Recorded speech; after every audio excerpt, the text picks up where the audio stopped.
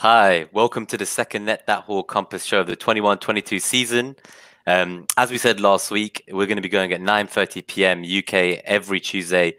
At the moment, Hibbo unfortunately is locked up still, so hopefully he'll be back from his Rapunzel Tower once we reach over 1k subs on Friday. In the meantime, I'm joined by co-host, fellow fantasy football hub writer uh, Gabriel, so at FPL Lens, and everybody wish Hibbo luck in his interview. How are you, Gabe? Hey, Nima, I'm doing well, man. Thank you. It's good to be here. Super excited to announce this evening's guest. And uh, we're joined by a friend of the show, Hall of Fame number 45, also obviously a fellow Fantasy Football Hub writer, Abdul Rahman at FPL underscore Salah. Abdul, welcome to Net That Haul. Hi, thanks, guys. Thanks for having me on. Excited, excited to be on. Amazing. So let's just get a little bit of housekeeping out of the way and then we'll get right to the interview with you, Abdul. So lots of new viewers on tonight. We got to the 20 likes before we came on. Um, I was holding Abdul hostage. He wasn't allowed to come on air or get back to his evening and life back at home. But thank you for the likes, guys. So when the channel hits 1,000 subs, we've uh, pledged that we're going to donate $100 to charity and we're going to do it again at 2K subs. So, you know, hit like, hit subscribe. It costs you nothing. We're going to have to put our hand in our pockets and it is for a good cause. Okay, if uh, if you want to join our mini league, right? The code is FG1XNB. Uh, come join us, take on the crew, plus our special guests will also be there. Tom, C- Tom, Tom Stephenson is in the league, of course. Big Man Bakar is in the league. FPL Matthew in the league. So are we, uh, for whatever that's worth. so uh, get get in there, take on the best in the business, and us as well. Um, and the, the, prize actually this year is a, a, a, year's subscription to Fantasy Football Fix and a copy of FPL Obsessed by Matt Whelan, who goes by at FPL Obsessed on Twitter. Super nice guy, really, really interesting book. So um, yeah, get in that league, FG1 XMB. Nice. So I just like to say a quick shout out normally to anyone who's live viewing while we're here. So thank you guys. I know it's quite early for some of you, like 3.30 in the morning in India. So I just want to say thank you, Andy Martin. So he's going to be able to watch the whole show tonight. So shout out to you. Thanks for coming back. We've got uh, another returning member of the crew. So we've got Ramanathan. Uh, thank you, FPL4P. Um, already here, but he's still waiting to see if Hibbo's bought a plant. Uh, I know that Gabe will tell you about the drawing in the background that he's got after hearing Amon's threats online. He, he was nervous he'd get uh, trolled next.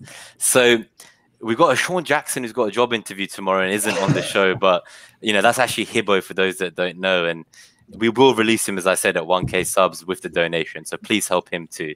Um, hello, Pato, nice to see you. Thanks. Yep, hope you're well too.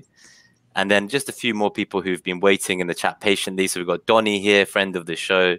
We've got General Zod returning. We've got Jamie Baker, so Baker, FPL Baker, and then we've got Adam Tessiman. So welcome evening. Blue Danube guys back. Nice to see you, mate. Uh, Gary Swan, greetings. And there's a little wave from Andy again. We're ready to go. Okay, guys. I'm sorry for the podcast listeners. I hope the ones listening on audio do skip past this stage each week. Um, I don't expect you to go through it, but live, I think is an interactive element, and we love to kind of talk to you all and make it an evening with the whole crew. So, just a final thing. So, we're actually going to have a TikTok uh, Net That Haul launching soon with FPL underscore Baker's support. So thank you for that. And Bungle the Gooner as well on Twitter. He's joined as a moderator, as I mentioned last time. So, you know, if there's any other haulers out there who want to get involved with the crew, you know, do drop us a message with your ideas and let's see how we can grow this community together. Okay, now that housekeeping's kind of out of the way, let's get to the meat of the episode why everyone's here. Um, you know, Abdul, as we said, he's Hall of Famer, number 45. He's got four top 1Ks which is in itself insane. I've always wanted a triple digit finish, so we'll talk a little bit about that. Um, five top 5Ks, again, something that's insane. And for me, the most impressive part is actually the last three seasons. So he's at an average of about 8.4K OR, and these are the seasons with the most FPL managers that have ever played this game. So he's got a you know 4.9k 19.6k and a 700 rank in that time so abdul my first question kind of for you is how did you you know get into playing FPL? What happened when you joined in 2007, 2008? Mm. How, how did that kind of come about? Yeah. So the first season I actually joined in Game Week 2 because obviously I didn't have a clue about fantasy football or what it was until one of my mates introduced me to it. So he he, he was telling me about it and he asked me to enter the league. So just entered it without knowing what kind of what I was getting myself into. Um, and then I ended up winning that league. Like it was like a mini league between friends. Like even though I started in game week two and had like uh, you know they all had a head start. So just from there, I just kind of got hooked because I just thought you know I just thought I was amazing at it because you know I beat these guys. Um, you know with with the one game week head start. And uh, at that time, didn't have a clue about overall rank or you know any of these fanciful websites. But ever since then, I just I just been hooked. And then my second season is when I kind of started, kind of uh, you know going on to the the websites and all that kind of stuff, and really really getting addicted to it. So yeah, that's how it started off. Very nice. I guess something that we should ask straight up. I know you have answered it on other shows, but for anyone who might be new to you, um, I do like to ask, but I have my own twist on it, so I hope you forgive me in advance. Um, my initial kind of question was, how did the name FPL Salah come about? I'm really interested in the history of it because obviously, as we know, you're a Man United fan. So uh, just tell me a little bit about that, and I have a counter argument to your right. answer. Yeah, I've worked on it. I don't want you to say the same thing you said on other shows. So I'm going to ask you something new today at the end of why you tell us why you're called FPL Salah. Okay.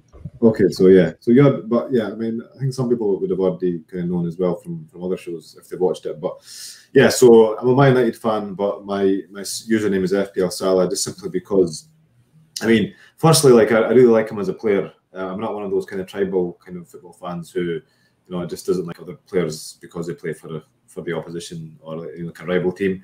But the, the main reason is because um, because I mean when he first came to league and he was like banging the goals and you know he was kind of a world superstar. Uh, it's like the way he was kind of like you know uh, not ashamed of his religion. He was he was you know bowing down to God after he was scoring goals, and I feel that brought a, a really positive light uh, onto Islam, and which is obviously my religion. I'm a Muslim and he's a Muslim, so I really like that fact, and I really like the fact that I think by by him, by him just just doing that was just kind of you know changing people's opinions of of, religion because I mean since 9-11 I mean you know Islam's had a really bad really bad reputation you know like especially in the media the way it's portrayed and you know some people might might have you know a, certain perception of it and in a way you probably can't blame them because that's the only kind of source of information they get regarding get regarding Islam but uh, you know then but when you see like you know Mo Salah you know millionaire footballer, you know, banging the goals, and then you know the first thing he does is is you know bow down to his God and pray to his God. That really kind of makes people think. So, yeah, kind of in a nutshell, that that was the main reason why why I loved the guy, um, just because he kind of you know was was really kind of you know like you know preaching the beauty of our religion without even like talking about it. It was just kind of through his actions. So yeah, I really like that. So he just kind of represented everything that was good in Islam, which the media wasn't focusing on. And as you say, since 9 11 times have been quite um, stressful with the kind of Islamophobia in the media as well, exactly. right? Exactly. There's, exactly.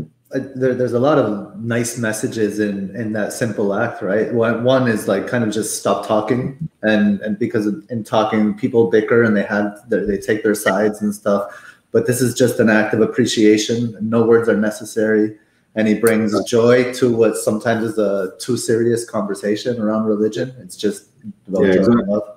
Exactly. You know, I think it's good for the kind of the youth as well because when I was growing up, there wasn't really like you know big Muslim superstar who, who I could kind of relate to and who, who would kind of give me that confidence. But I think mm. with uh, nowadays there's a lot more. I mean, you've got obviously Mo Salah.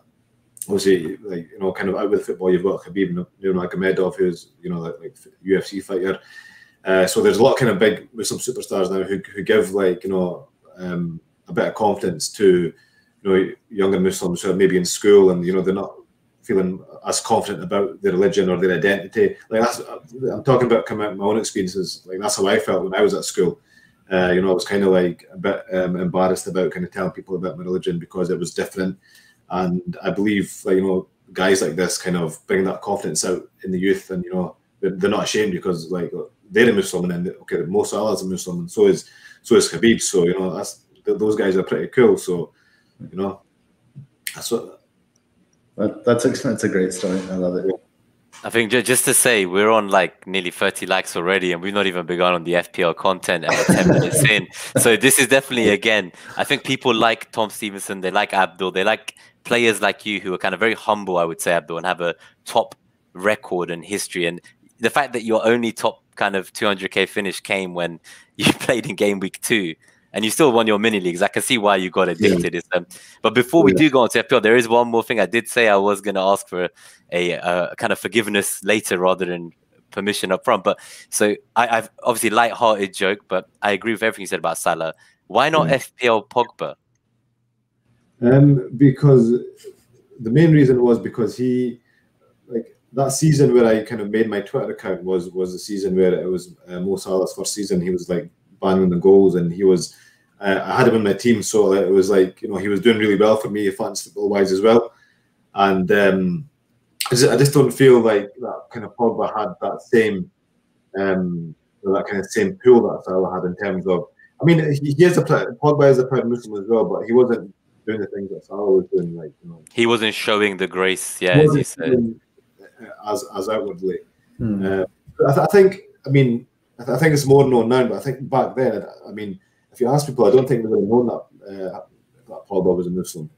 Um, you know, I think it's only kind of. Yeah, I think a lot of people can't tell. Yeah, so he's like one of the players that falls into that category where you find out they've been kind of praying pre-match, and you're like, oh, I didn't yeah. realize they were Muslim. That's interesting. Yeah. Whereas with yeah. Salah, like it's obvious, like he's an inspiration to them all over the world. Okay, I like that. Um, so I'm gonna let um, Gabe tell us a little bit about his history because I feel like like he's obviously here with us. He's a fantastic footballing brain. He's a real coach for anyone who's not joined us before. He's um, actually certified as well, and he knows his strategy and he's famous for his kind of articles where he uses video stills and shows you actual kind of like drawings on those about what was going on and the tactics that the coaches employed. So I think it's fascinating stuff. But from an FPL perspective, I think he might be quite different to you, Abdul. so let's hear his story because um, I think his worst, so your worst ever finish might kind of be a beacon of hope for some of yours, Gabe, right? I mean, most things are a beacon of hope for some of mine. some of finishes, to be fair, I think I think I, I, probably had maybe the opposite record. Well, first, it's not as long. I didn't want to say opposite, by the way. I let you say that. I, yeah, I appreciate you uh, at least leaving me something to say there. um, but I mean, uh, opposite. So I, I started playing in 2015, 2016, but you know, I was total casual, bit of a ghost ship sometimes. I I I think I maybe played through probably until Christmas, and then I probably left uh, left the uh, the you know I just gave up on it. Um, a big change for me came so it was like a, a couple seasons later. It was ten week game weeks to play in the 2017-2018 season. Um, that's when I that's when I became aware of the existence of overall rank. I had no idea that there was any ranking in this game or, or anything outside of uh, outside of a mini league, and that that kind of blew my mind a little bit. So I, I, was wondering for you, you know, what have been some kind of seismic epiphanies in this game that you've um, for you in your time playing in FPL, and and and then what kind of player would you consider yourself? Aggressive, passive, patient, impatient? Yeah, I mean, I'd say I'm I'm definitely like a really patient uh, I mean, I think a lot of people would call me a, a boring manager because uh, I'm. I mean, I'm, I'm quite. I'm, I'm, quite simple and I'm, I'm, a template player, uh, especially at the start of the season. Um, I don't take many risks on captains. I usually captain like you know the, the obvious kind of premium players who've got the best fixture. I don't take kind of you know like um, big punts on on the captains very often at all.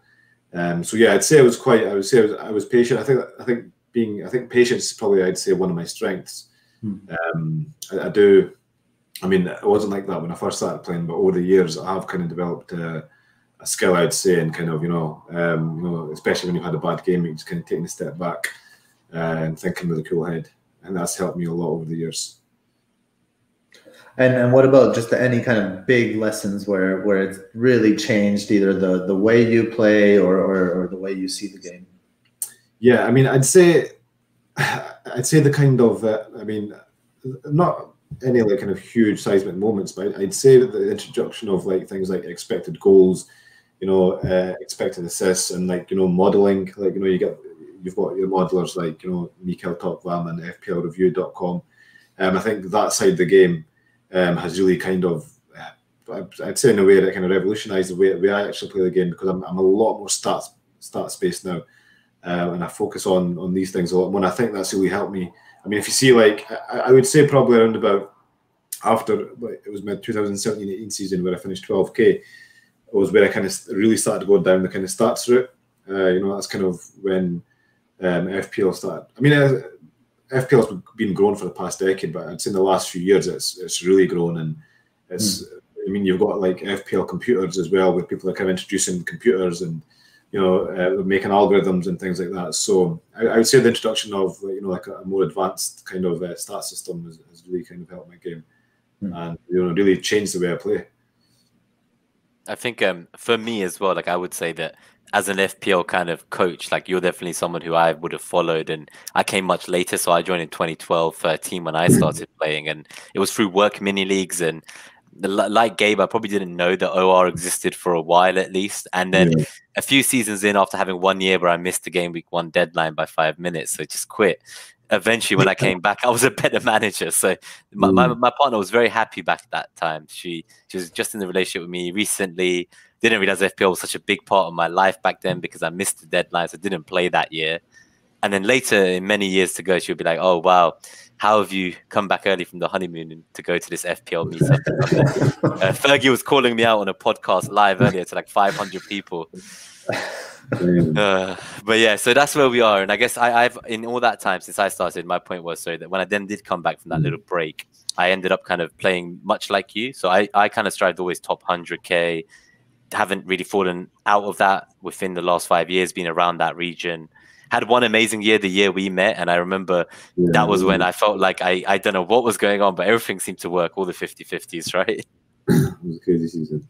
That that was my best, but I'll never get that triple digit like you. I don't think. I think that was my closest dance with yeah. Destiny there. But you've done it four times, Abdul. So how? Yeah. Tell us. So what do you have to do differently, maybe in the seasons where you've say gone top one k compared to the years where you've just missed, say, the top five k? So you might finish like you know seven k or eight k.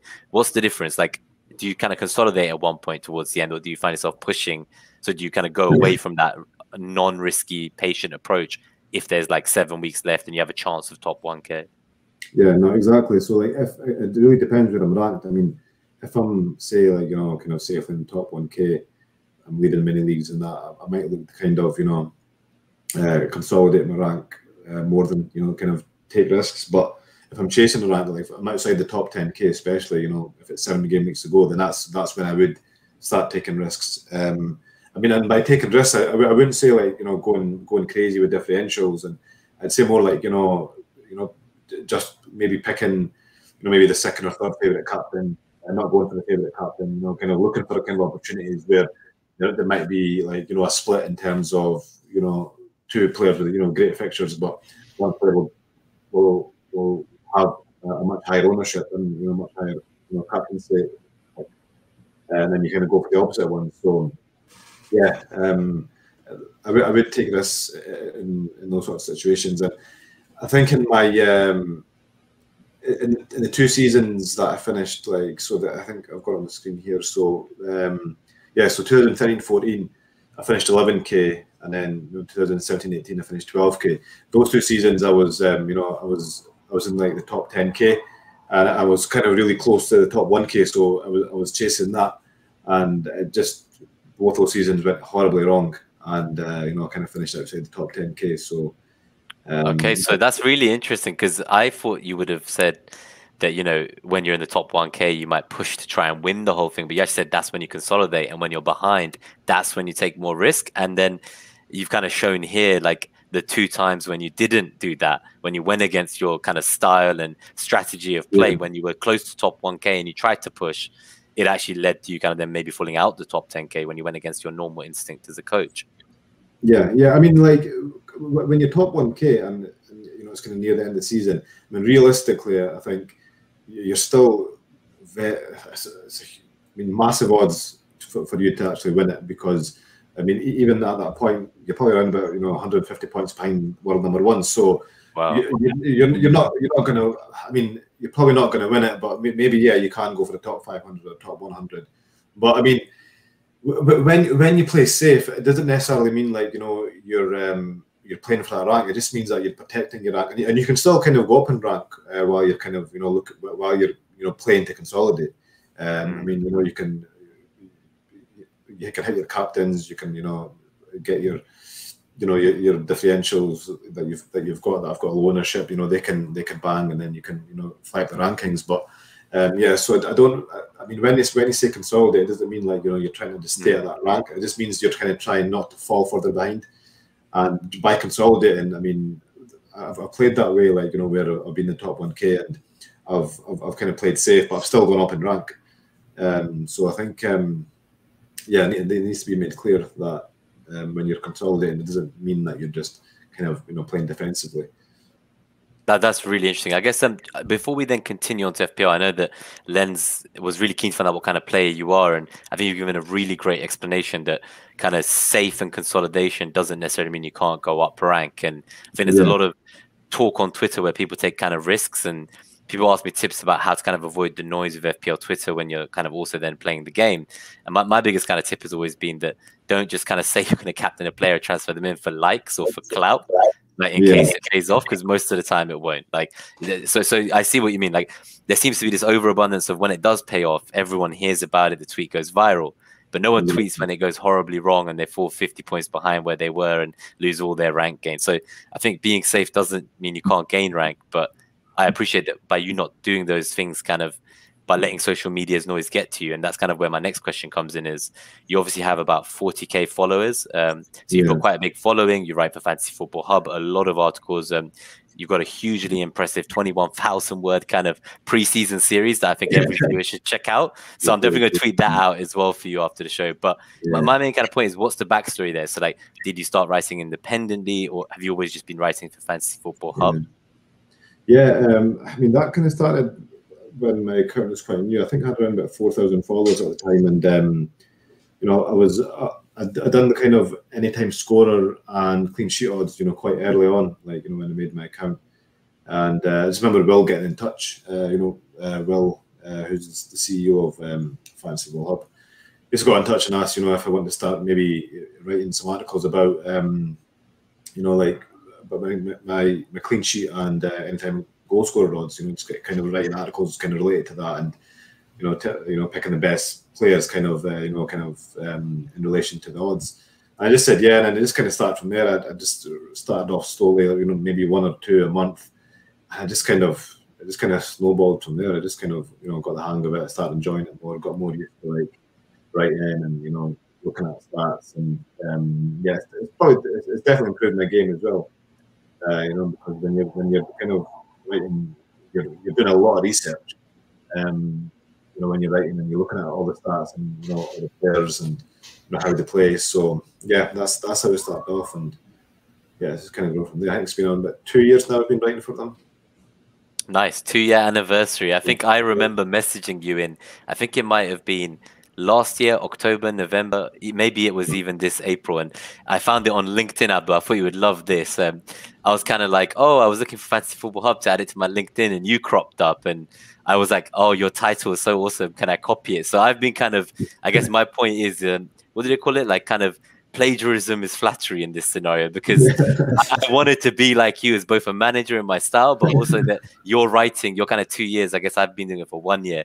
I was like kind of always aspiring to be a bit like you and Bakar, obviously, who we both talked to quite a lot. And yeah. I think it was great that you two pushed me into becoming a writer and you kind of encouraged me back then even to get going and just do it. And I'm so glad I listened. Yeah. And yeah, no, so you guys were my inspiration and definitely this 21,000 word series as impressive as it is, is nothing on just the sheer content I see coming out from you. Um, I made a joke recently that you were like a kind of a robot churning out FPL content because I've seen you submitting stuff to editorial past yeah. midnight. Like you're one of the hardest working guys I know in FPL. That's what I was. I wanted to make sure all our viewers knew that that your content yeah. is amazing and it's so fascinating to hear how you kind of got approached and headhunted. I really like that. It shows the caliber of person we're talking mm-hmm. about. Yeah, no, thanks, thanks. Yeah, I mean, yeah, I've, I see, I seem to have like a lot of time because I'm a late sleeper, so um, you know, I, I can't, I can't sleep before midnight, even even on work days. So, yeah, I just use that time to to, to, to for fans football, for writing the for writing articles, etc. So, yeah, so I think I've got that advantage with me. You're unstoppable. No, I love it. Yeah. So that that's really awesome. Um, I guess Gabe, did you want to maybe maybe take us back to FPL because I feel like Mariner are proud da of the show, so we call him Abdul our da as Hibbo calls him. Apparently, it means dad. Yeah. Now, see, so maybe you know what he means, but I don't. He's like our Mm. he's like our mini FPL general. So I'm a mini FPL Salah. He's a mini general. We're all here trying to mimic you guys, but we'll see. Um, so I'll let Gabe steer us back in the right direction before Mariner wakes up next morning in Singapore and sees that he's given me the reins to StreamYard and we've not Next let you go into in the Yeah, before you know it, I won't be back on the show for a It while. like, but, um, here, I've already seen Hibbo try to uh, change the rank up Abdul. I'm going to call him out live on air because it's something I do every week. I call someone out, and why not be Hibbo? So he's um he's the one who tried to make me update the slides to uh, Hall of Fame number 45. I put 41, but he's a Yeah. he's, he's got OCD and he's very pedantic about checking scouts forums. And I say, you know, all of us here are free hub writers. He's also a hub writer. I, f- I feel disgusted, like spit that he went and looked up the Scout Hall of Fame to even check. But I'm sorry, I just Yeah. wanted to clarify. I didn't want you to think I wrote Hall of Fame 45. So I call out Hibbo today before Gabe steers us back in the right direction. Yeah. I was I was actually going to push us forward a little bit because you know we, we kind of it. covered we kind of covered the the kind of manager you are, um, Abdul, and, and obviously it, it's working for you, so you, there's there's no problem there. I was wondering, um, you know, when when you talked about getting into FPL, you know, you said a, a friend invited you um, to a mini league, and it was game week two. Um, were you a were you a football guy before then? And and I wonder, like, do you do you have time? Are you able to to watch games? Um, how many games do you watch, if possible? And uh, and what role the eye test plays in your FPL analysis? Yeah, I mean, yeah, I've, I've always been a football guy, you know, since you know since I, since I can remember. Um, and, and the Do you play? football- Yeah, yeah. Um, I've, I've not played. I I don't play as a regular now, but I, I played a lot when I was younger. Mhm. Um, played in school, you know, uh, for teams and that. Um, but oh, since since I got married, really, uh, probably I think a similar story for mo- most guys. Um, you know, I've, I've played a lot less, but yeah, I've always been a football guy, um, and uh, always loved football. I was just, I was just fantasy football got me even even more into it. Um, but yeah, I, I tried to watch as much as many matches as I can. I mean, last season is probably the most matches I've ever watched, like you know, live, just because obviously, uh, you know, the timings, you know, because all the matches were live and you know they were kind of spread out. Um, um, usually, like in a normal season, in a kind of non-COVID season, I'd probably watch maybe one or two, mostly like one live match um, at the weekend. Uh, you know, the probably the, the, kind of main kind of head of The United match. Sorry. The United match.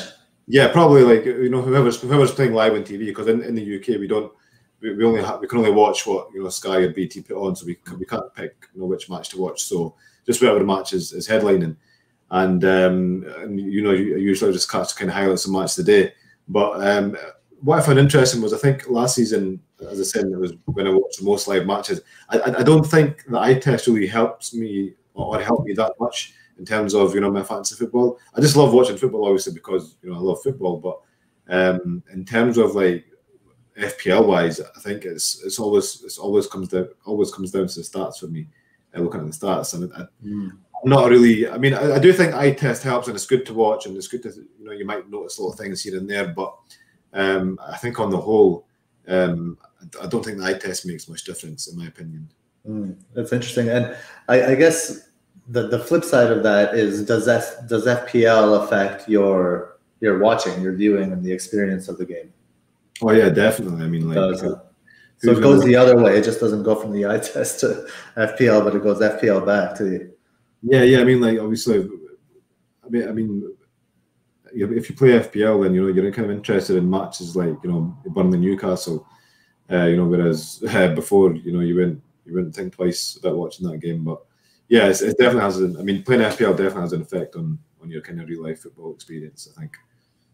That Abdul, I guess so then on the stat side, because you say that that's something that you're probably more focused on, but you do obviously have some attention given to eye test, but you found that watching too much last season maybe ends up making us overthink, which I agree with. Um, and I still try to watch a lot of games, but definitely I overthink when I watch because some players are great and um, they yeah. do the Hollywood passes, and then you get sucked into buying them when the hard numbers show they they aren't the right choice. So, what's your yeah. approach in terms of stats? I guess so. Like after each game weekends, do you like what do you dive into? Is it different stats per player position? Um, what kind of sample size do you look at? Is it season long, last four weeks, last six weeks? Yeah, so stats wise, like you know, kind of before the introduction of like X, XG and XA, like you know, expected goals and that, I would I would primarily look at you know shots in the box, shots on target, uh, you know big chances, big chances created. So I'm not one that goes kind of really detailed into the stats. Like you know, I see some people kind of going into kind of stats like you know kind of chances conceded down the left side, down the right side, and you know if you, if you enjoy that sort of thing, fine. But I, I don't feel um, you really need to. I think the kind of the, the, that that is the main stats. Like you know, like you know for an attacker, it's shots in the box, shots on target, big chances. Uh, you know, for, for midfielders, it's big chances created, and obviously XG and XA kind of rolls that into kind of one, and you know gives you like a you know like a, a quite an accurate number. So yeah, so I mean that's that's the stats I look at like you know during the game week. Uh, you know when I'm looking at making my transfers. Um, I mean, I mean when a game week finishes, I'll, I'll probably just like you know kind of I'll, I'll, go into my team and I always I always set a bus team like you know I always pick my captains and you know set a bench you know just in case like I get run over by a bus or something, you know. uh, quite. is it, is it a little weird that everybody in the FPL community is like constantly contemplating death every week? I mean, maybe it's a healthy thing, but yeah, you know, as long it's as not less FPL stressful than a FPL, right? FPL so stressful. Life is yeah. less stressful. Yeah, for sure. Um, but yeah, in terms of like, uh, so I mean, that, I'll do that, but I won't really look into my, you know, making transfers until kind of later on in the game week. But obviously because I'm writing kind of during the week, I'm, I'm kind of you know subliminally doing research and looking into my team anyway.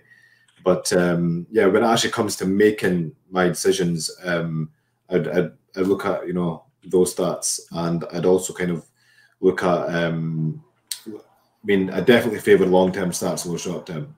Um, you know, especially for when you're making transfers over for like you know when you're when you're bringing in a player and you're thinking you know five five or six game weeks ahead. Uh, it's always definitely best to look at long term stats. I really like that. Um, I just wanted to ask you then, how do you kind of think about historical data in the context of what's going on? Because you know, like new players come to a club, so you look at someone like Buendia, you, you look at kind of his data at Norwich when he was in the Premier League. You know, teams are always evolving, new coaches arrive with different styles. Um, how are you kind of monitoring that? Because some people don't want to look at like championship data, let's say. So Mariner's algorithm on the kind of midfielders and defenders shows we've done so far, it doesn't mm-hmm. have players from teams that have been promoted because he doesn't have the data for them last season in the league. So how do you feel about kind of players going to teams, coaches changing, things always kind of evolving? Like what is what is that doing for your game in the context of the modern game? Um, sorry, can you? I, I, can you repeat the question? I didn't really understand. Yeah, so so essentially, like, are you ever kind of combining stats to get a full picture painted? So, like, will you look at say um, Aston Villa stats last season and then combine that with Buen Buendia's stats at kind of Norwich, and then would you overlay them together almost in a way? So, like, um, is that reliable? Like, what do you do in those scenarios when there isn't data for your stats decision? Well, I, th- I mean, I think there always is. I mean, for, for example, like for the championship, I look at FBref. Um, you know, that shows championship data. And when, so for example, you, mentioned Buendia, so I did have a look at his stats, you know, for um, uh, for Norwich last season, and you know he created the most chances out of you know everyone in the championship. Obviously, got the most most assists. Uh, I think he got something like 15 goals and 15 assists. So yeah, so when I look at that, like I'd, I'd look at a player who has amazing stats for you know a, a poor team, uh, and also uh, Buendia. Also, for example, had one season in the Premiership as well with Norwich, uh, you know, two years ago when they got when they got uh, relegated. And even in that season, I think Norwich scored like the least goals um, of everybody, um, and but he still managed to get you know some good attacking returns. So yeah, so I'd look at that and I think he's going to a team like Villa who he's obviously going to you know create chances, and you know his chances are probably going to get put away more often. So. Um, yeah, so for, for a, for a scenario like that, I'd you know that's what I'd look at. But um, I'd, I'd always, I mean, I, I don't think I'd try and kind of determine how a player is going to fit into like you know a certain team because you don't, you, you can probably, I mean, you can never really kind of guess that. Uh, it's really, I mean, the only person who can is the manager. So I think the, the best thing you could do is look at the stats. I think you can get stats for championship players and other players and like you know almost anywhere on the, on the internet. So when you what I would do is look at the look at the, the player stats. I mean, you also have to kind of apply some sort of uh, depreciation for the player coming into like the Premier League. Like for example, from the Championship to the Premier League, of course, he's not going to get the same attacking returns he did, uh, you know, playing in the Championship. Yeah, so you kind of do have that, you know, in the back of your head, but it's just something you kind of need to. I guess that kind of comes down to your actual football knowledge, and you know, something that you have to try, you know, really kind of just kind of take a little punt on, if you know what I mean, and use your own kind of um, intuitiveness in that sense. That, um, I like that. that I like sounds like a nice like place to fit the eye test. To be perfectly honest, I, I think you just have yeah. it used for the eye test. I guess so. Yeah, I think I guess that would, would become handy. I think I think that's a similar situation with Sancho as well because he's he's got like amazing stats. If you look at his kind of goals and assists uh, ratio, he's um, I mean phenomenal. Um, but like obviously, you know, coming from the Bundesliga to the Premier League, uh, you know, I think you, you do have you will have to apply some sort of depreciation on him as well. Um, and you know, we, saw what happened with Timo Werner obviously last season. Uh, you know, he was a world beater. Uh, you know, for I think a, a big a big change with uh, with Sancho when he comes to the Premier League is you know having one of the fastest players on the planet to pass the ball to in Haaland is quite an advantage. So you can he can pass the ball into space and and be pretty sure that Haaland will, will get there. He's not going to have that United, um, and that could be a that could present a learning curve for him. Yeah, exactly. And I think these sort of things is you, you can never really kind of pinpoint. So it's just again, I think you need to kind of use your own, as you said, Gabe. Um, you know, that's probably where the eye test comes in handy in, in these sort of situations. Or, you know, I, I, guess you can you know just kind of make a rough estimation. Uh, you know, maybe minus ten or fifteen percent off mm. of what you got uh, in, in his Bundesliga figures. You know, something like that. But yeah, it, it kind of makes him a makes him like a tough pick, if you know what I mean, because mm-hmm. he's important to just a shout out to FB Ref that you mentioned as well. So great free site with lots of data for some yeah, people yeah. who perhaps can't afford, like say, memberships to things yeah. like Hub and Fix and Scout. So it's a nice option. I think, especially for other leagues, it's going to give you a wealth of information. And kind of aside from that, then, so let's say for Premier League data or FPL specifically, what's your kind of most trusted content sources, and how do you stay objective when, when there's so much kind of information in the community, just even on Twitter in the form of threads or people sharing mm. stats they've delved into. Um, you know, there's a bandwagon kind of every week, right, for a different player. And what do you yeah. do to avoid the hype? Because you say you're quite patient. Yeah, yeah. I mean, obviously, in terms of like you know uh, content resources, it's got to be the one only fans football hub. That's that's all you need. but, uh, we just need those articles, to be honest. We don't even need the rest. yeah but yeah, you know, um, yeah, honestly, like, I mean, a lot of fancy football sites are great. You know, you're talking about Hub, you've got um, FPL Review as well, which is a great site. I mean, seeing in terms of in terms of like kind of you know trying to cut out the noise, like what I found is that I really don't um, try and get involved in you know kind of team conversations, uh, you know, on Twitter because I mean, for example, if I put my my team out um, on Twitter and you know ask for opinions or thoughts on the transfers, you're going to get ten different answers, you know, from like ten different people. So I think that's probably the one of the worst things you could do. So I, I try and stay, stay out the kind of conversations on the main timeline and kind of stick to certain accounts that you know that I'd speak to um, in, in terms of you know like maybe like you know five or six accounts that I would actually talk about my, my transfer decisions, and I feel that has really really helped me because it kind of blocks out all the noise, kind of brings you know everything kind of into perspective. And you know, looking at things like uh, I mentioned earlier, like you know, Mikkel Tokvam's algorithm and FPL, FPLreview.com.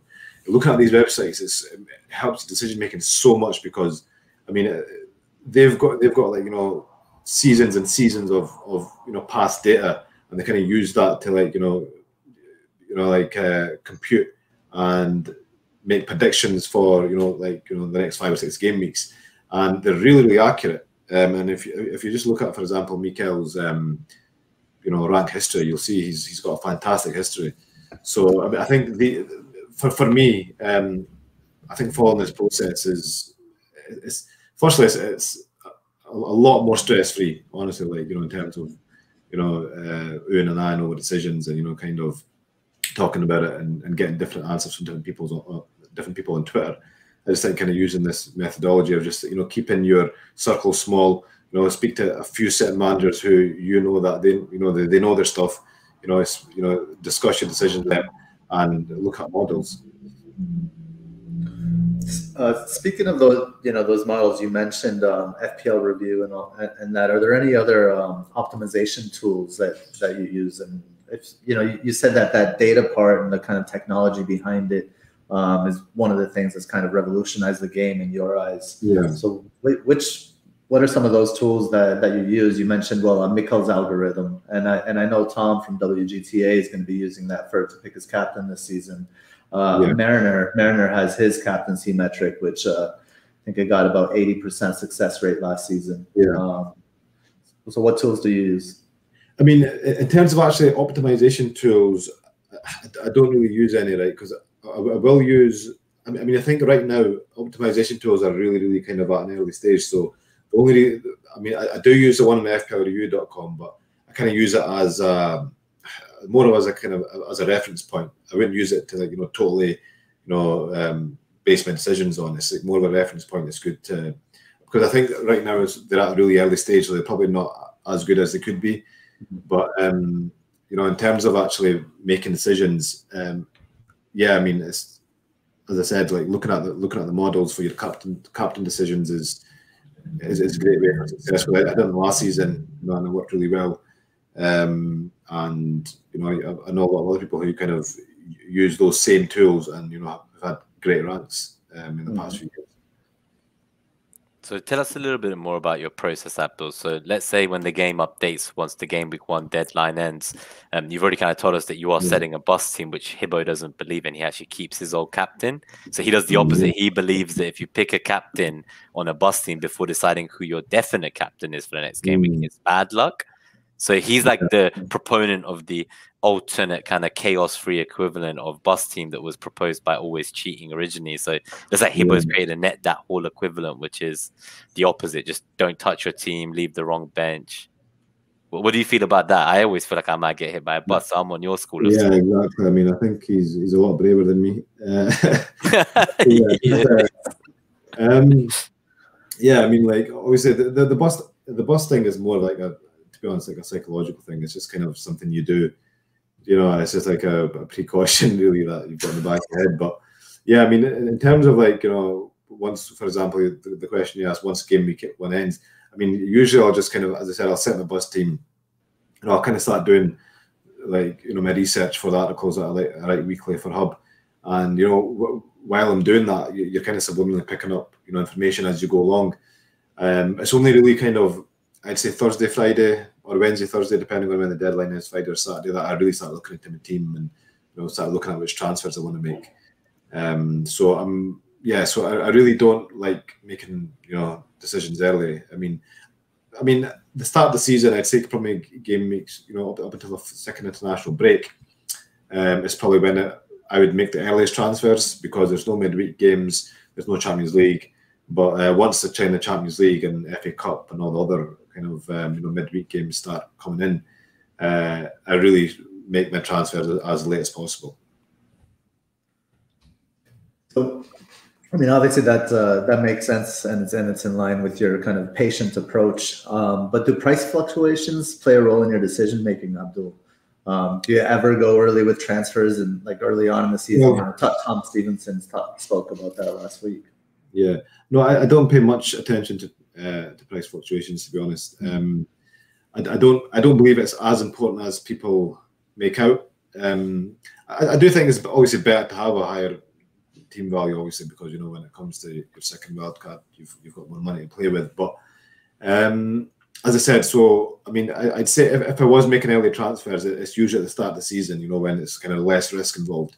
Uh, you know, less risk for your players getting injured, you know, from midweek games because you know they're not really playing. So the, the only way they can really get injured is you know, like you know, through training, which is unlikely. Or uh, actually nowadays, you know, you've got the COVID as well, so obviously you need to factor that in as well. But yeah, um, I mean, second half of the season, or maybe you know, like I'd say after game week 10, 12, once the midweek games, and I really kind of, I, would say probably ignore team value altogether. Um, I really do focus on you know making my transfers you know in, in the best with, with, the best and most information I, I can possibly get. Um, so that's as late as possible. I mean, usually, um, you know, I'd say probably ninety five percent of my transfers are made after the press conferences. Mm.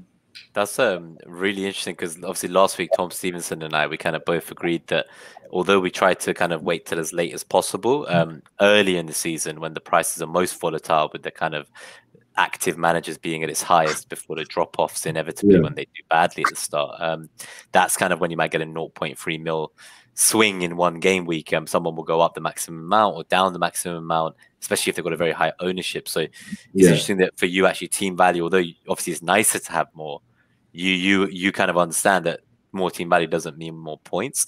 So you're again far yeah. more patient, and you're kind of you're kind of mm-hmm. avoid that noise. You won't get distracted by it. Definitely, and I think I think kind of sacrificing your team value for you know optimal transfer decisions. You know, in terms of what I mean by that is you know waiting as long as possible uh, and getting the most information you can before making the transfers definitely outweighs having a having a higher team value. Um, the second for the second wild card or for the second half of the season. Definitely. That's that's fascinating. Um, I think I'll definitely see what I'm going to do this season. I've done a late wild card last year, which was kind of like yeah. in the final week we could, and that's probably the latest I've ever played it. And uh, I don't know how I felt about that. I might try to go earlier to catch the price rises, so maybe not take hits or do early transfers in a game week. Yeah. But let's say when there's a good fixture swing or in between any of the free international breaks. So I think the kind of game week four, eight, and twelve or something like that um, maybe target one of those. So I'll be going early because I'm on wildcard, but it's more that I'm doing an early wildcard rather than doing a free transfer on a Monday and then that player gets mm. injured in the kind of midweek game, as you say. Um, in mm. terms of when you are looking to bring in a player, then, so just talking about transfers, like what kind of fixture length are you looking at? So are you just buying them for the one game to maximize returns on a per game mm. week basis? Are you bringing them in for a captaincy essentially in that sense? Or are they kind of four weeks, five weeks, six weeks? Like, what's the period you look at over the fixture ticker before you commit yeah, to someone? Ninety-nine percent of the time, it's, it's probably like about four to five game weeks.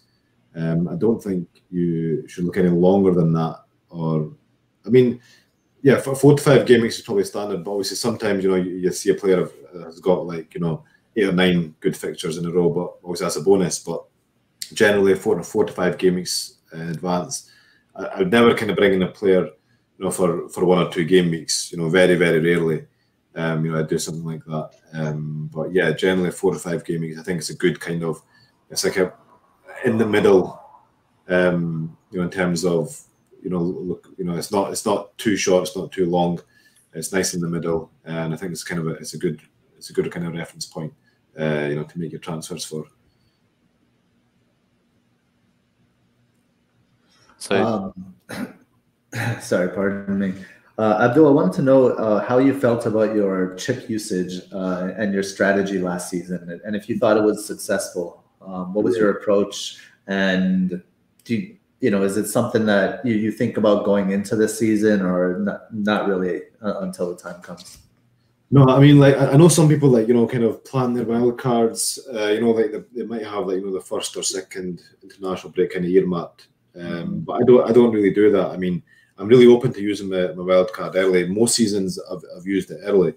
Um, um, last season I didn't actually because it was a totally different situation last season with, with double game weeks and that.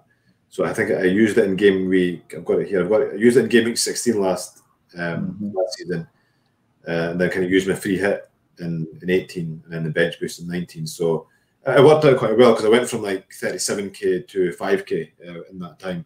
So it was was a popular, it was a, successful chip strategy. But usually, uh, like in a, in a, normal season, um, I'd, I'd, I'd I use a wild card quite early. Not because I plan to use it, because mostly I need I need to use it because pre-game week one, that's when you've got the kind of least information. Um, so you're it's when you're guessing the most. So a lot of the time you'll probably get it wrong in game week one, and then you need to kind of use your wild card to fix that. And I, I have no qualms about doing that. Um, you know, it's, it's proved a successful strategy over the years. So, yeah, I mean, to answer the question, I, I don't have like a set time, uh, you know, like, uh, you know, kind of an, earmarked time of when I'm going to use a wild card, but I'm, I'm really open to just using it whenever I need it. Mm-hmm. Yeah, we we touched on that on the on the Friday uh, matchup show. Uh, how the, the biggest delta in information is at the beginning of the season, and we think we know a lot. We've done a lot of research. Yeah, but we don't. The season hasn't happened, so yeah, exactly. that makes sense. Exactly. Um, so this is an odd one, but I feel like it'll be interesting to get your perspective on this um, because I'd never really considered it until this preseason. Um, do you think in the community there's sometimes an overemphasis on the kind of the value of chips as a whole? Because sometimes we kind of plan out, let's say, five to ten weeks of uh, kind of transfers. We don't go and target things we know are kind of factually apparent now. So let's say in game week two, you find out things are going to be very different.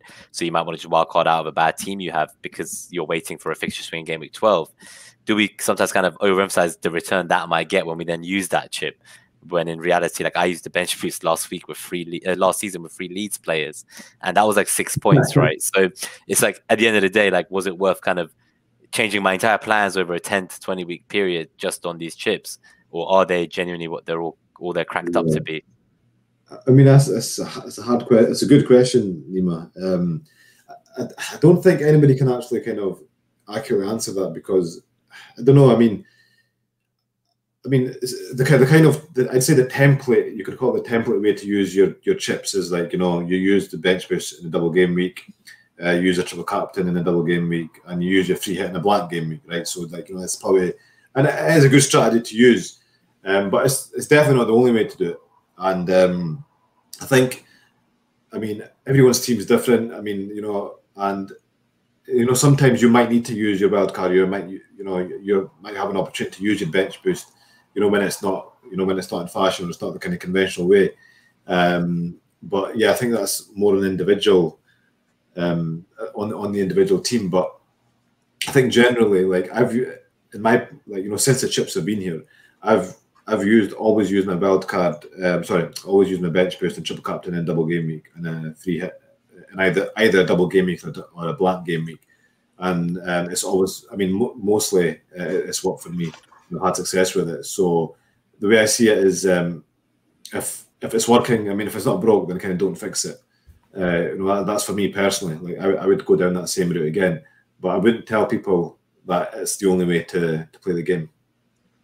Yeah, no, I think I totally agree on that. So I, I kind of use all my chips like you probably only in double game weeks and blank game yeah. weeks and even stuff like using a free hit on a double game week to attack it rather than wildcarding the week before and bench boosting the week after. And that was a new thing for me. But COVID meant that last year was a bit of a strange one, and people did lots of different and wonderful strategies. And obviously, shout out to Ben Crellin as well. So another one of the legends who got me yeah. into the community was, as I said, you, kind of Bakar, and Ben Crellin were like the initial three I think that I used to follow for years and on the kind of Reddit forums before I joined Twitter about a year ago. So it's been an interesting journey on Twitter for the last year. I'm really excited what the next few years are going to hold for all of us together and on the hub ship, right? As you say, yeah. kind of writing there. So, um, I, I, I kind of want to move on to some stuff that actually came up in the chat earlier. I know Gabe wanted to ask you about this. I thought this was a good time to bring it up. Um, I'm going to go out of the OR history. I think most people who've come in and out have hopefully seen your rank. I'll pull it up again later, but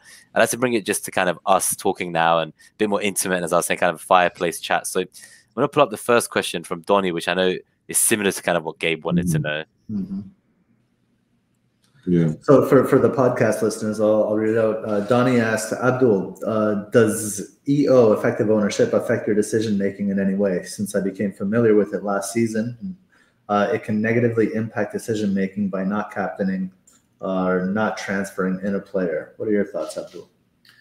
Yeah, I mean, I think um, EO has become such a, a, large part of the game now. Um, I think it, I think it does affect my decision making. Um, like I think it's a really useful tool to have because you can use it to like you know see you know whether you want to kind of you know play defensively or play offensively, and it gives you that opportunity to actually you know make that decision. So yeah, um, it does it does affect my decision making, and for me, I think the kind of introduction of EO um, you know, has been a positive thing for for FPL. And I, I know a lot of people probably disagree with that, but I, th- I think it's a good thing.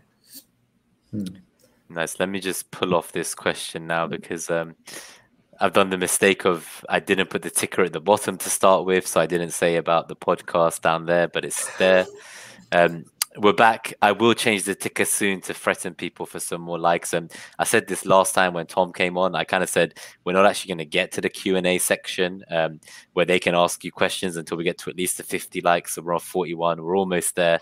I hope you guys are tweeting out the shows live, and you know, let's get Abdul free so he can go back to his family tonight and not be held hostage like Hibbo. I, I did want to like elaborate on on Abdul's point because you don't you don't hear or I haven't heard many people actually say that uh, effective ownership and, and, the knowledge of it um, is actually a good thing or that like wholeheartedly support that it's a good thing for FPL. I guess what advice would you give to to players who um, other than like they could ignore it of course but it's difficult to ignore sometimes when you're trying to yeah. be in a community and it's part of the conversation what advice would you give to people that to whom it negatively affects like it sounds like perhaps um, who was it that sent that question in was Donny, Donny FPL. Donny. It sounds like Donny is negatively impacted. So, what advice would you have for Donny? Um, I'd say, I mean, if I don't know what he means by neg- negatively impacted. I mean, is it maybe it's affecting his decisions in terms maybe, of maybe enjoyment of the game, Abdul. So, oh, like, let's say there's two players over hundred percent here. You've captained one oh, of them. Okay. Okay, you yeah. like one player, but you go with the other player because it's more, you know, a higher effective I, I, I can understand that. I can understand that how it would kind of maybe kind of you know kill the enjoyment a bit with the with the game. But I mean, if it's for that reason, then I mean, there's no other choice but to just ignore it completely. Um, I mean, I mean, what, what else can you do really? Um, you know, if, it, if it's going to affect you in that way, then you have to ignore it. Um, otherwise, I mean, it's it's here to stay now, isn't it? Really, it's not something that we could kind of brush under the carpet. So, and it's a shield, right? So you could see it as, oh, I lost, like you know, um, it's a one hundred and ten percent EO, and therefore I lost ten percent of the points against me, even though I own this player. But yeah. you could have lost one hundred and ten percent of those points exactly. against you and derailed yeah. your whole season. So I, I, agree with you. I'm also a template player, as we said all night, and I'd rather kind of have that shield on my back and take my punt elsewhere, not necessarily on my captains, but in my kind of six to eight million range player that might be an exciting mid like a Greenwood or Jota this year. Maybe a Saka, someone who does something we're not expecting, a Raphinha, Buendia, any of these guys, yeah, right? So there's so many. That's where my punt is going to be. So, um, how do you then, on that note, eliminate kind of risk in your game week one team? Because, you know, I've seen a lot of drafts with players that have just joined a new club They've come up mm-hmm. from a different league. We talked about the likes of Sancho. Uh, we talked about when DSR already. So, like, do you have any hard and fast rules where you're kind of avoiding players from, say, promoted sides or any foreign signings? And do you wait and see how they perform first, or like, what do you do? Like, what are your rules there and your minimize uh, mitigating risk? Sorry, in your game yeah. team. So my game week one tier is as safe as safe as you can probably get. Um, it's one of my kind of rules is just play a really, really template. Um, you know, have all your kind of main price points, your premium players in, in your midfield. Uh, you know, so you can you can switch about easily. But m- most of my players, you know, in game week one are, are probably the highest owned players. Um, what, one thing I usually try and avoid is, as you said, like new players to the league. You know, unknown quantities. But saying that, I mean, for example, uh, last season my game week one team was really template. Um, you know, I had like all the main players: Salah, Bruno, you know, Salah captain, Trent, um, and then but I had Timo Werner, who who was you know an unknown quantity. But I mean, the reason I picked him was because he was um, he was one of the highest like owned forwards in the game, or if not the highest owned forward, I can't remember. But he was really high, highly owned, so he was he was a risk to go without. Even though like you know he was unproven in the, the PL, he was still a risk to go without because if he banned you didn't have him, you know, you'd, you'd, lose a lot of ground. I think this year, similarly, is with Ivan Toney.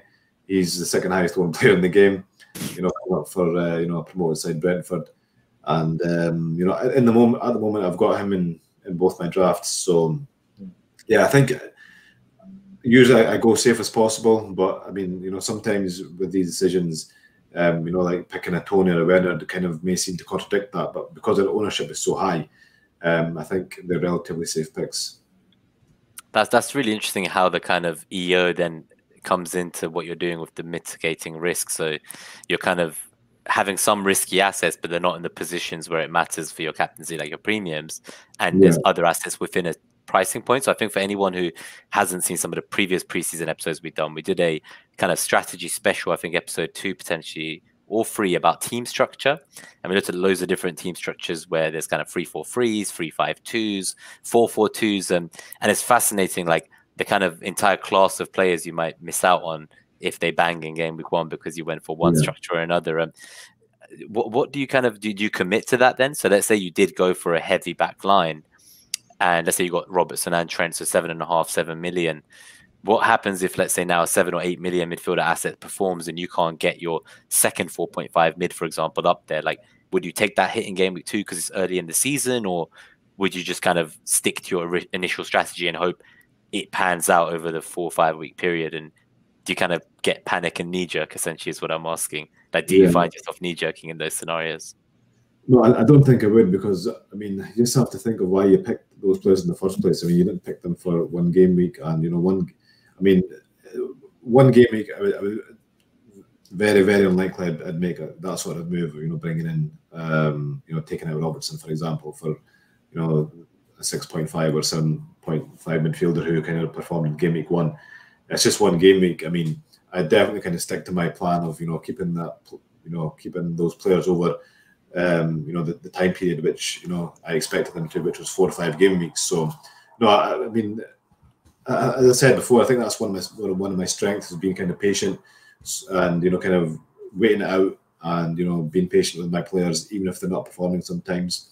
Um, you know, if, you know sometimes players will go through like you know four or five games without without scoring, but they've still got the stats there. The stats are backing up, but it's, it's just not the output.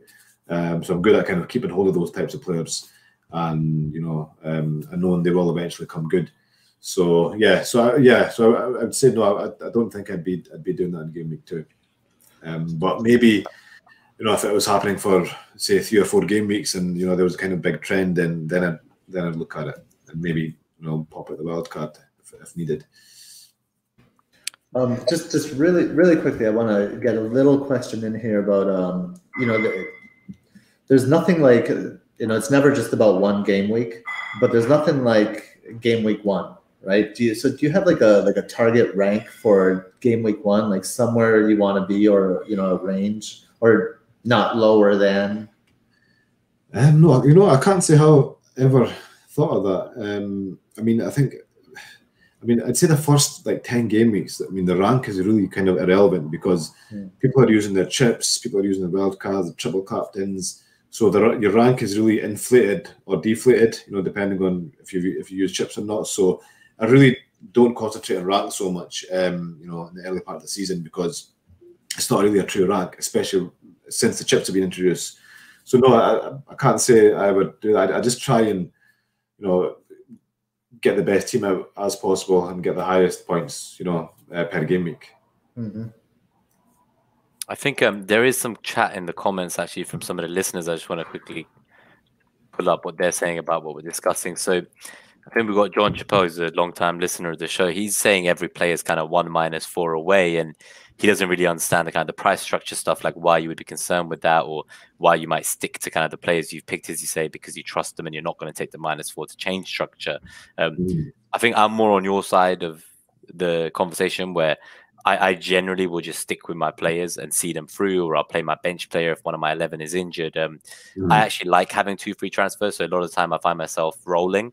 And I kind of ask every manager, are you someone who will take a minus four hit or do you like to mm. roll a transfer? And it's always fascinating because there's kind of everyone seems to go one of two ways. So I think John mm. probably goes to take a hit approach and we probably go for the keep it um, saved. Gabe, I know you might be someone who leans more towards take the hit. So last season yeah. you took a hit to sell someone Alonso or Digne like one week after you got them. You said, "Look, I don't want them anymore. I've decided I was wrong. I'm just going to take the hit immediately." So, so tell us how like yeah. Uh, after game yeah. 26. so tell us how that happened. Yeah, let us know about that because you seem to maybe agree with John more, where you would take the hit, whereas me and Abdul we wouldn't. We would roll it's I think it's part of the thrill and the joy I get in the game. Um, where and it's just ruthless. Like the players are almost like uh, you know, as, as quickly as you brought them in, you, you can take them out. I remember it was uh, at FPL Joe from uh, FPL, FPL Expectations. He and I, we both brought in uh, Alonso that game week, and, and Alonso was benched, and then he was benched again or something like that. And, and that was when you know, like when you know you've made a mistake or when you're convinced of it, then I think the sooner you can correct it, the the better. Even if it hurts when you pull that band-aid off. So, so it is a bit of a band aid. I guess let's um let's try and get into the drafts that you sent across, Abdul. I think that's kind of where we want to go next. And I know you sent us two teams that you've got. Um, we're going to talk through some of the players you've picked for the early part of the season.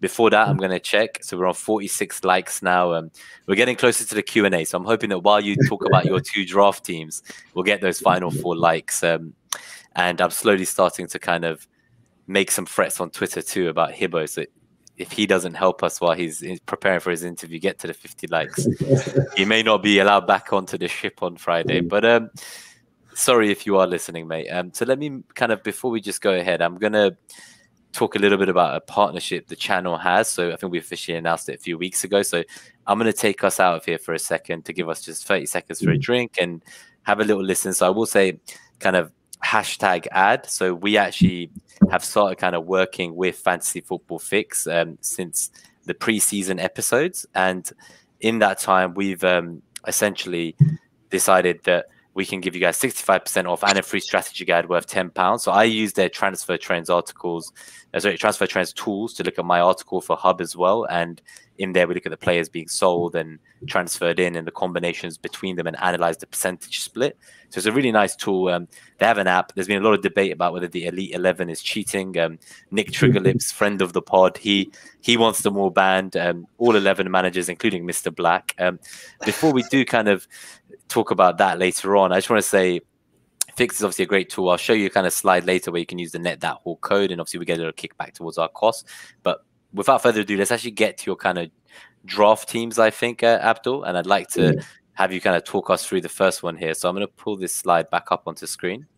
Um, this was the first one for the podcast listeners. Do you mind just also reading out from the back, like who is in the team? Yeah, so this was this was my first initial draft, uh, which I'd done, um, and I, I, don't know. This season, I found it. I found it being you know picking my team quite easy. Um, you know, a bit less stressful than previous seasons, but yeah, so goal, I've got Sanchez, uh, three in defence, uh, Trent, Shaw, Digne. Uh, midfield, Raphinha, Bruno, Salah, Buendia. Uh, up front, DCL, Watkins, and Ivan Toney. And then uh, reserve keeper, Foster, and then Ayling, Brownhill, and Veltman on the bench. Um, so yeah, so that was my my initial draft. I, I still like this draft, um, and I, I, I, just feel. Um, I mean, do, do, you want me to talk about this draft and the current draft as well, or do you want me to just? Yeah, I think maybe maybe start with this one. But if, if you feel more natural, I could actually switch over to the next one on screen as well. I just think it might confuse some of the podcast listeners here. Yeah. Both okay, well, lineups a bit. Just keep, it, just keep it on this one for now, then. Yeah. So I just I just really like this team because I think, I mean, what Watkins is, you know, a great pick for you know his first three games. I think I think most of these picks are, are, are, template and really and will be high owned and you know I've got good fixtures and you know they'll be in a lot of people's teams so I don't mind that at all. The biggest risk I've got in there is um, Ivan Toney and, and. Um, I did mention earlier why I thought uh, you know Ivan Toney was a relatively safe pick because of his ownership, and also due to the fact that another reason as well is from game week five, uh, Norwich's fixtures really, really kind of you know take a turn you know for the better, and you know Brentford's kind of go downhill. So Toney to Pukki is uh, you know a good little safety net um, you know, in that sense as well. So there is a you know a bit of uh, I've got a bit of a safety net with, with Ivan Toney, but I just think with with his ownership, he's he's relatively safe. Buendia, I think, is quite risky. Um, but again, I really, really like him, and it looks like Grealish is off the City as well. So I think him going to City uh, will make Buendia a, bit, a better FPL option because kind of he'll probably get most of the set pieces. He'll be the main playmaker. Um, you know, I probably will make Villa a poorer team overall, but I think as an FPL option, uh, I'll make him. I'll make him better. I think uh, what I what I'm noticing here is the way you balance um, risk with over with ownership. So if it is a risky pick, like a player that's recently promoted or something like that, um, that you, what makes you more comfortable about about that pick is the high is the high ownership of that player. Yeah, um, exactly. Uh, just replies. So, so, guys. It was the same with Werner last season as well. You know, he was right in quantity, but he was he was he, he was in. I think Werner started off at nine million last season, which was you know, you know from his stats and from his you know his goals and assists from you know from Germany, that was a bargain, and he was highly owned as well. So it, it, at the time, it was a no-brainer to pick Werner. Mm-hmm. Mm-hmm. A lot of us made that mistake for sure. Yeah. I think one question I have here is um, obviously we've seen kind of Buendia and Watkins together, um, and I know just a little bit. Um, would you ever consider kind of holding on to one of them through the bad fixtures? So someone like Watkins, people are saying on Twitter that he did well in the reverse fixtures. Um, I think they need to remember as well that the seven-two versus Liverpool that's probably not a common occurrence. So maybe some of those stats are inflated in that period. But mm-hmm. either way, they're saying he did great against the tougher opponents. And would you be tempted to kind of maybe only sell one of the two? And if so, which one would you keep after game week four in this team? Yeah, definitely I'd keep Watkins because he, he, is a proven asset in the Premier League. I mean, yeah, people did. I mean, yeah, he did have. I mean, the, the Liverpool game was an anomaly, but he did also return against like Arsenal, Spurs, and um, Man City as well. He got attacking returns. So if, if you look at his stats, he he get. I mean, he's not only like you know got good goal scoring shots. He, he gets a lot of shots off in the box because he, he's like the kind of the main man up front for Villa. So he's always, you know, the most furthest forward gets a lot of shots off in the box. He's he also um, is is good at creating chances as well. So if you look at his like kind of chance creation for a forward, is good as well. So I think he's a, a really good all round player. And for seven point five million uh, in those first three fixtures, great pick. And yeah, I, I definitely I wouldn't have any qualms about holding Watkins, you know, through the tough fixtures. Buendia is a different story. Um, again, um, not really confident on him.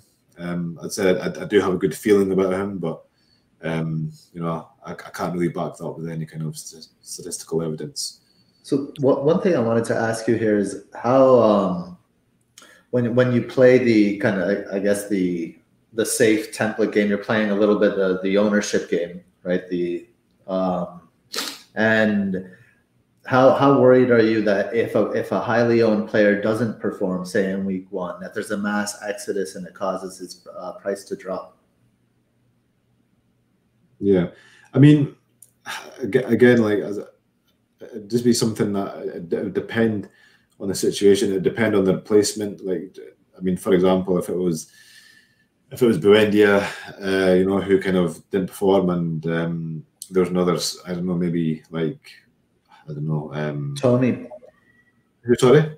Toney as well. Say, say, you know, you can you can envision Toney blanking against Arsenal. Yeah, I mean, I mean, or, I think Buendia even away to Watford potentially. Yeah, I, I, guess it depends on the replacements and who the replacement is. I mean, if I feel that the replacement is, um, you know, better prospect, then you know I, I, I might make the move, but I, I, don't think I would. I mean, as I said, I mean, um, I definitely stick with Buendia through through the game week three, no matter what, because of how good his fixtures are. Uh, and I think I probably do the same with Toney because, again, as I said, he's still got that Pukki move in, in game week five, and he's 0.5 cheaper. So even if Toney does fall in price, then you know I, I can still kind of afford that move. So mm-hmm. yeah, I think these type of decisions are really kind of dependent on the actual situation. But I think in most cases, um, I just kind of stick with them, um, kind of trust my instincts, trust my initial decision making. I, I really like. I just want to say Lucas Digne shout because with kind of Rodriguez being rumored to want out the club and um, other allegations made at players from the club um, in their own statement about the investigation. Like, you know, maybe he's going to be on a lot more set pieces this season than we're expecting. And I know that I think it's FPL Tornado. Uh, they they sent in some advice to our kind of show we did about new coaches at clubs, and we had a look, and he reckoned Doucouré at that price point of I think it's five point five could play quite an interesting role as well mm. further forward on the pitch and recreate his Watford heroics. So I would say if there's one takeaway, Abdul, is let's keep Doucouré on our watch list and see how that goes. But I do like Digne in the yeah. meantime in your draft. Um, do, do you have any other thoughts on this draft, Gabe, or should we look at the 433 that is the more recent kind of draft that Abdul's done? I think we can move on. Cool. So yeah, so this is the four three three. I'll read it out quickly for the listeners. We have Sanchez at the back, uh, Trent Alexander-Arnold, and Robertson. We have Lucas Digne again and Luke Shaw. We have a midfield three of Raphinha, Fernandes and Salah, and then a forward three of Calvert-Lewin, Watkins, and Toney again. So the bench is Foster, Brownhill, Gilmour, and Manquillo in this one. Um, so I guess the main things, the talking points here, are really the double Liverpool defense. Um, so you put more money in the back line. You have two 4.5 mids and you're still kind of backing Toney. But I think we understand why, due to all the kind of earlier conversations about yeah. not taking risks against the template early on, and Yeah. So, what are your thoughts, kind of there on the double Liverpool defense, and then the two four point five mids? Like, how, how do you feel yeah. about this team? So with this team, I kind of just thought, you know, I just kind of ended up thinking and deciding that I preferred Robertson over Buendia because that's what the decision was really. Uh, I just think you know Robertson's. I mean, Liverpool fixtures to start are amazing. Uh, you know, the first eight are really good. Robertson, proven asset. You know, a lot more proven than, than Buendia. Um, and I really like this team because it's just. I mean, again, it's it's it's, it's really safe. Um, I keep saying that, and it probably sounds boring to a lot of people, but it's just really safe and um, you know it covers all bases. Um, and, and with with Robertson, with that back line, I know as, as you said, with the four, two 4.5 million midfielders, it's a bit risky in case you know one of the mid-price midfielders kind of start banging and I need to um, you know maybe bring one of them in. But um, I'm I'm happy to kind of you know stick with that back four you know for the first eight game weeks at least. So yeah, that, that was only decision really. Uh, the, the, the main difference between the two two drafts was really kind of bringing in Robertson instead of instead of Buendia, and then bringing in a, a 4.5 million midfielder uh, instead of Buendia, and then also downgrading um, to to a four million as well. And I think it's good because Brownhill and Gilmour should you know be guaranteed 90 minutes, so they should be getting you know a solid two points most weeks. Um, so yeah, this is this is where I am at the moment, and um, I've, I've been in this draft for like you know probably the past three or four days, and I've, I've not changed at all. Um, I'm, and I think the, the only reason the only way I can see this changing in a big way is if Kane goes to City, which is looking really likely now. So, yeah, we'll see what happens when that when that goes through. Um, quick question for you here. So, there's a couple of players missing in the forward line. So, a kind of popular pick we see all over the Twitter template at the moment is Antonio and slightly less popular but also gaining traction is Wilson. Um, obviously, they both have one thing in common, which is dodgy hamstrings. Um, I have said don't ever go with both in your game with one team, otherwise you're probably asking for, for punishment and you're a glutton for pain. But what do you feel about either of them? Like, do either of them come into your thinking? And if not, like, why not? Like, would you ever change any of the free strikers you've got in these two drafts to either of them? Yeah, definitely. I mean, I think Watkins is is um, is nailed. I'd say. And, uh, Me too, DCL, I think. yeah, I mean DCL is, is, expandable. I mean he can easily become Watkins. Uh, sorry, he can easily become Antonio. Um, I mean, I like Wilson as well. To be honest, I mean, out of Antonio and Wilson, Antonio and Wilson, I'd definitely go Antonio first. Uh, if it was to get Wilson as well, it, it, would be for Toney, you know, somehow. But um, yeah, I mean, DCL, he's he's by no means kind of nailed at the moment. I mean, you know, if uh, I mean, you know, we, never know what the developments will be like over the past few weeks. Um, but I mean, if I need to find a point five somewhere, I have no kind of hesitation in getting rid of DCL, you know, for Antonio. And, so he's um, in my team as well, DCL at the moment, uh, and Watkins. But what's interesting is I had Toney, and I think it was a few days ago. I kind of spent an extra million to go to Antonio, so I've actually got Calvert Lewin, yeah. Watkins, and Antonio. And part of me kind of wonders, you know, do I actually go back to a Toney to start with, backing against my own team, Arsenal, at Fantasy Football Fest in person with 200 people who want to celebrate Arsenal's misery? Or do I get a Tierney or Ben White into my team, back against. Toney, watch him drop a few 0.1s and buy him for one of my strikers in game week two or three? Um, so I'm, I'm not sure which side of that debate I stand on yet, but. I, have kind of gone up to Antonio, and it's interesting for you to say Antonio over Wilson first because that's kind of how I felt. Yeah. But um, Definitely. I hadn't considered making money through Calvert Lewin. He seems like a shoe in for me right now, just because I have a lot of excitement for how I think he will do and how consistent he is and proven at this level. As you say, he's kind of I like assets that I know what I'm getting with them, and I feel like I do know with him. Um, I am nervous about some of the creative players behind him missing, and if that will have a bad impact on him. But let's yeah. see kind of how his final preseason games go. Yeah. I, th- I think with DCL um, attacking wise, I mean with, with Rafa Benitez and I think with we can be fairly sure they'll they'll shore up in the defence and they'll have a better defence. Uh, I don't think we can be as sure um, attacking wise. So um, that's one of the reasons why um, you know I, I, do really like him, but I think he I think because options we've got a seven point five like Antonio, like like Wilson, he is he is you know sacrificable. Um, but yeah, I mean, if I could find the extra one million to upgrade Toney to another seven point five, I would. But I just like the rest of that team so much. Um, you know, I can't really find the cash anywhere. the the other thing to consider is I, I, I don't believe that Everton are done in the transfer market. Um, I I think there's more business for them.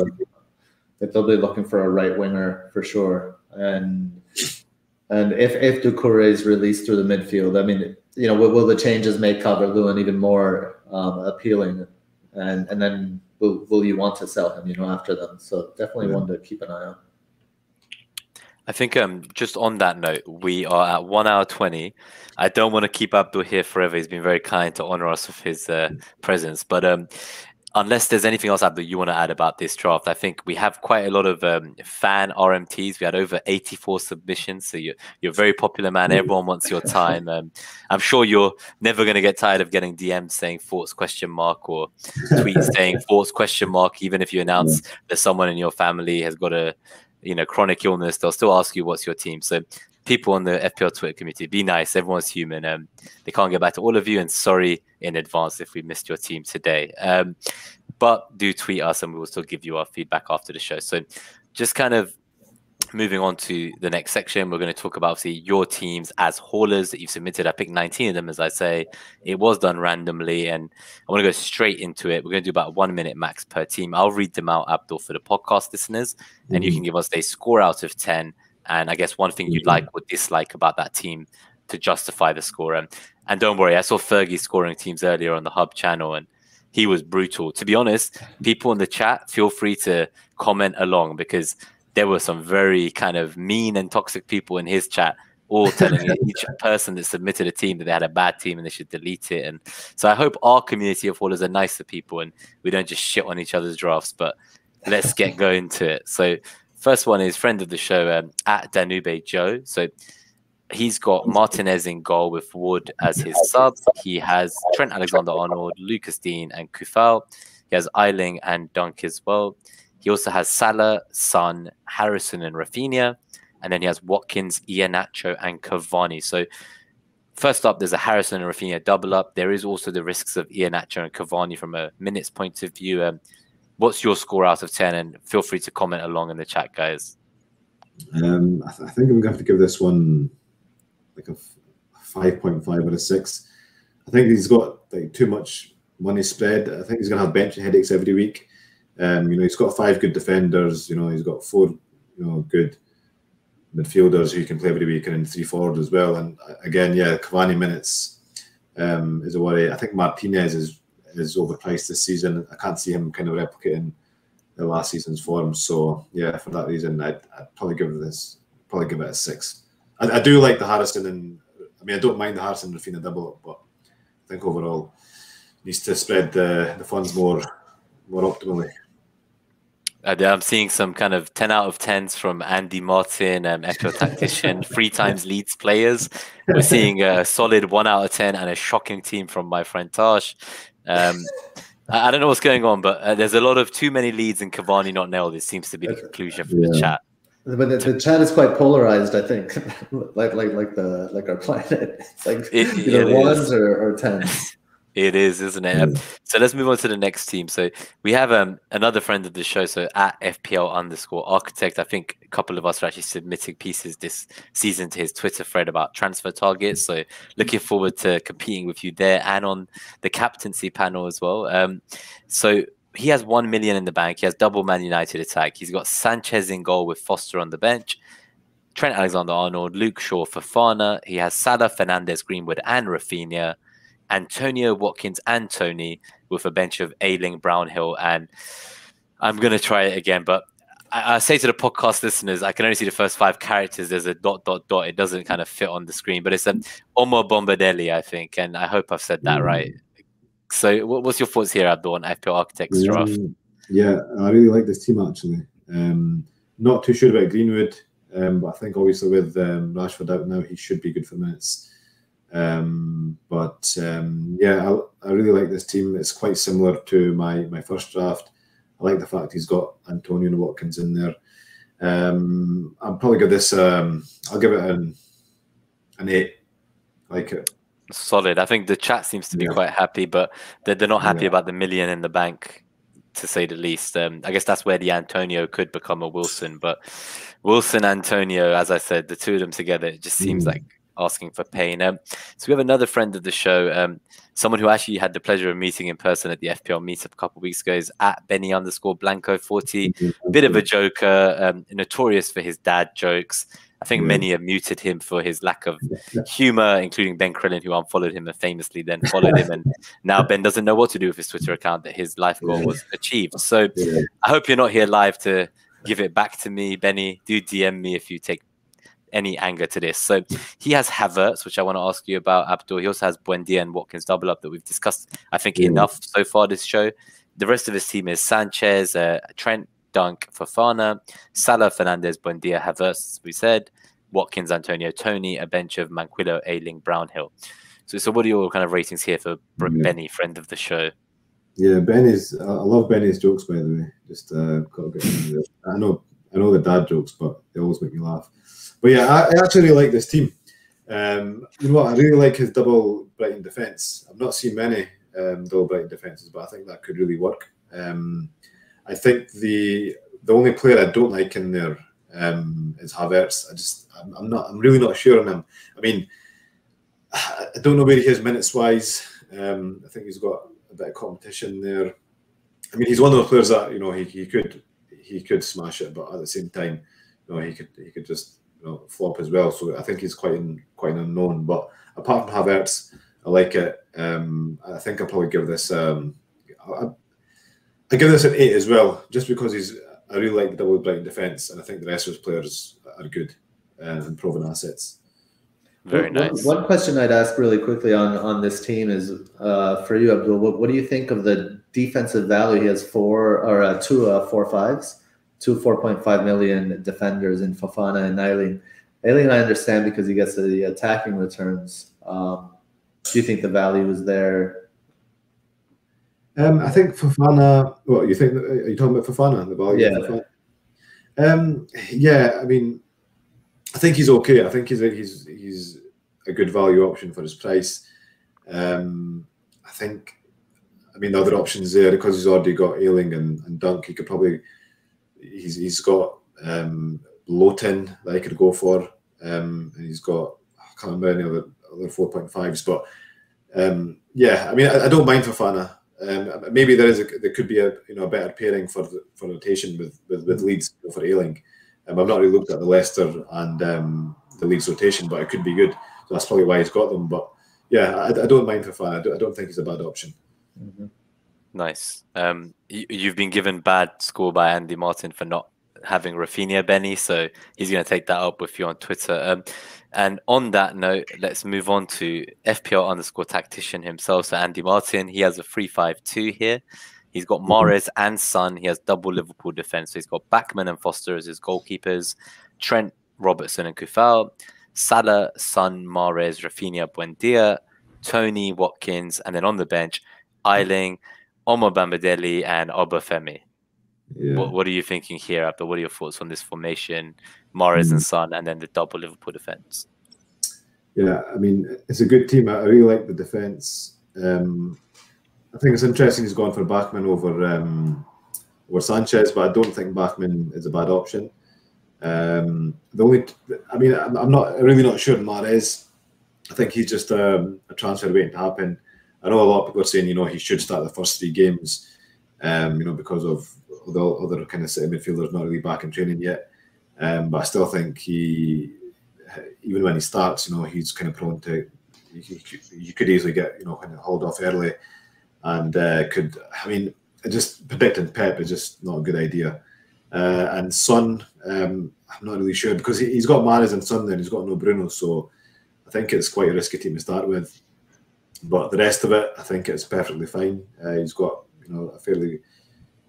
I mean, I think his bench is actually quite weak. Actually, just looking at his bench, he's only really got Ayling there, who's who is a playing, um, you know, a, a playing defender, and then Owen Medell and Wafami probably won't get any minutes. So, yeah, I think I think there's a wee bit too many too many risks in there. I do like the structure.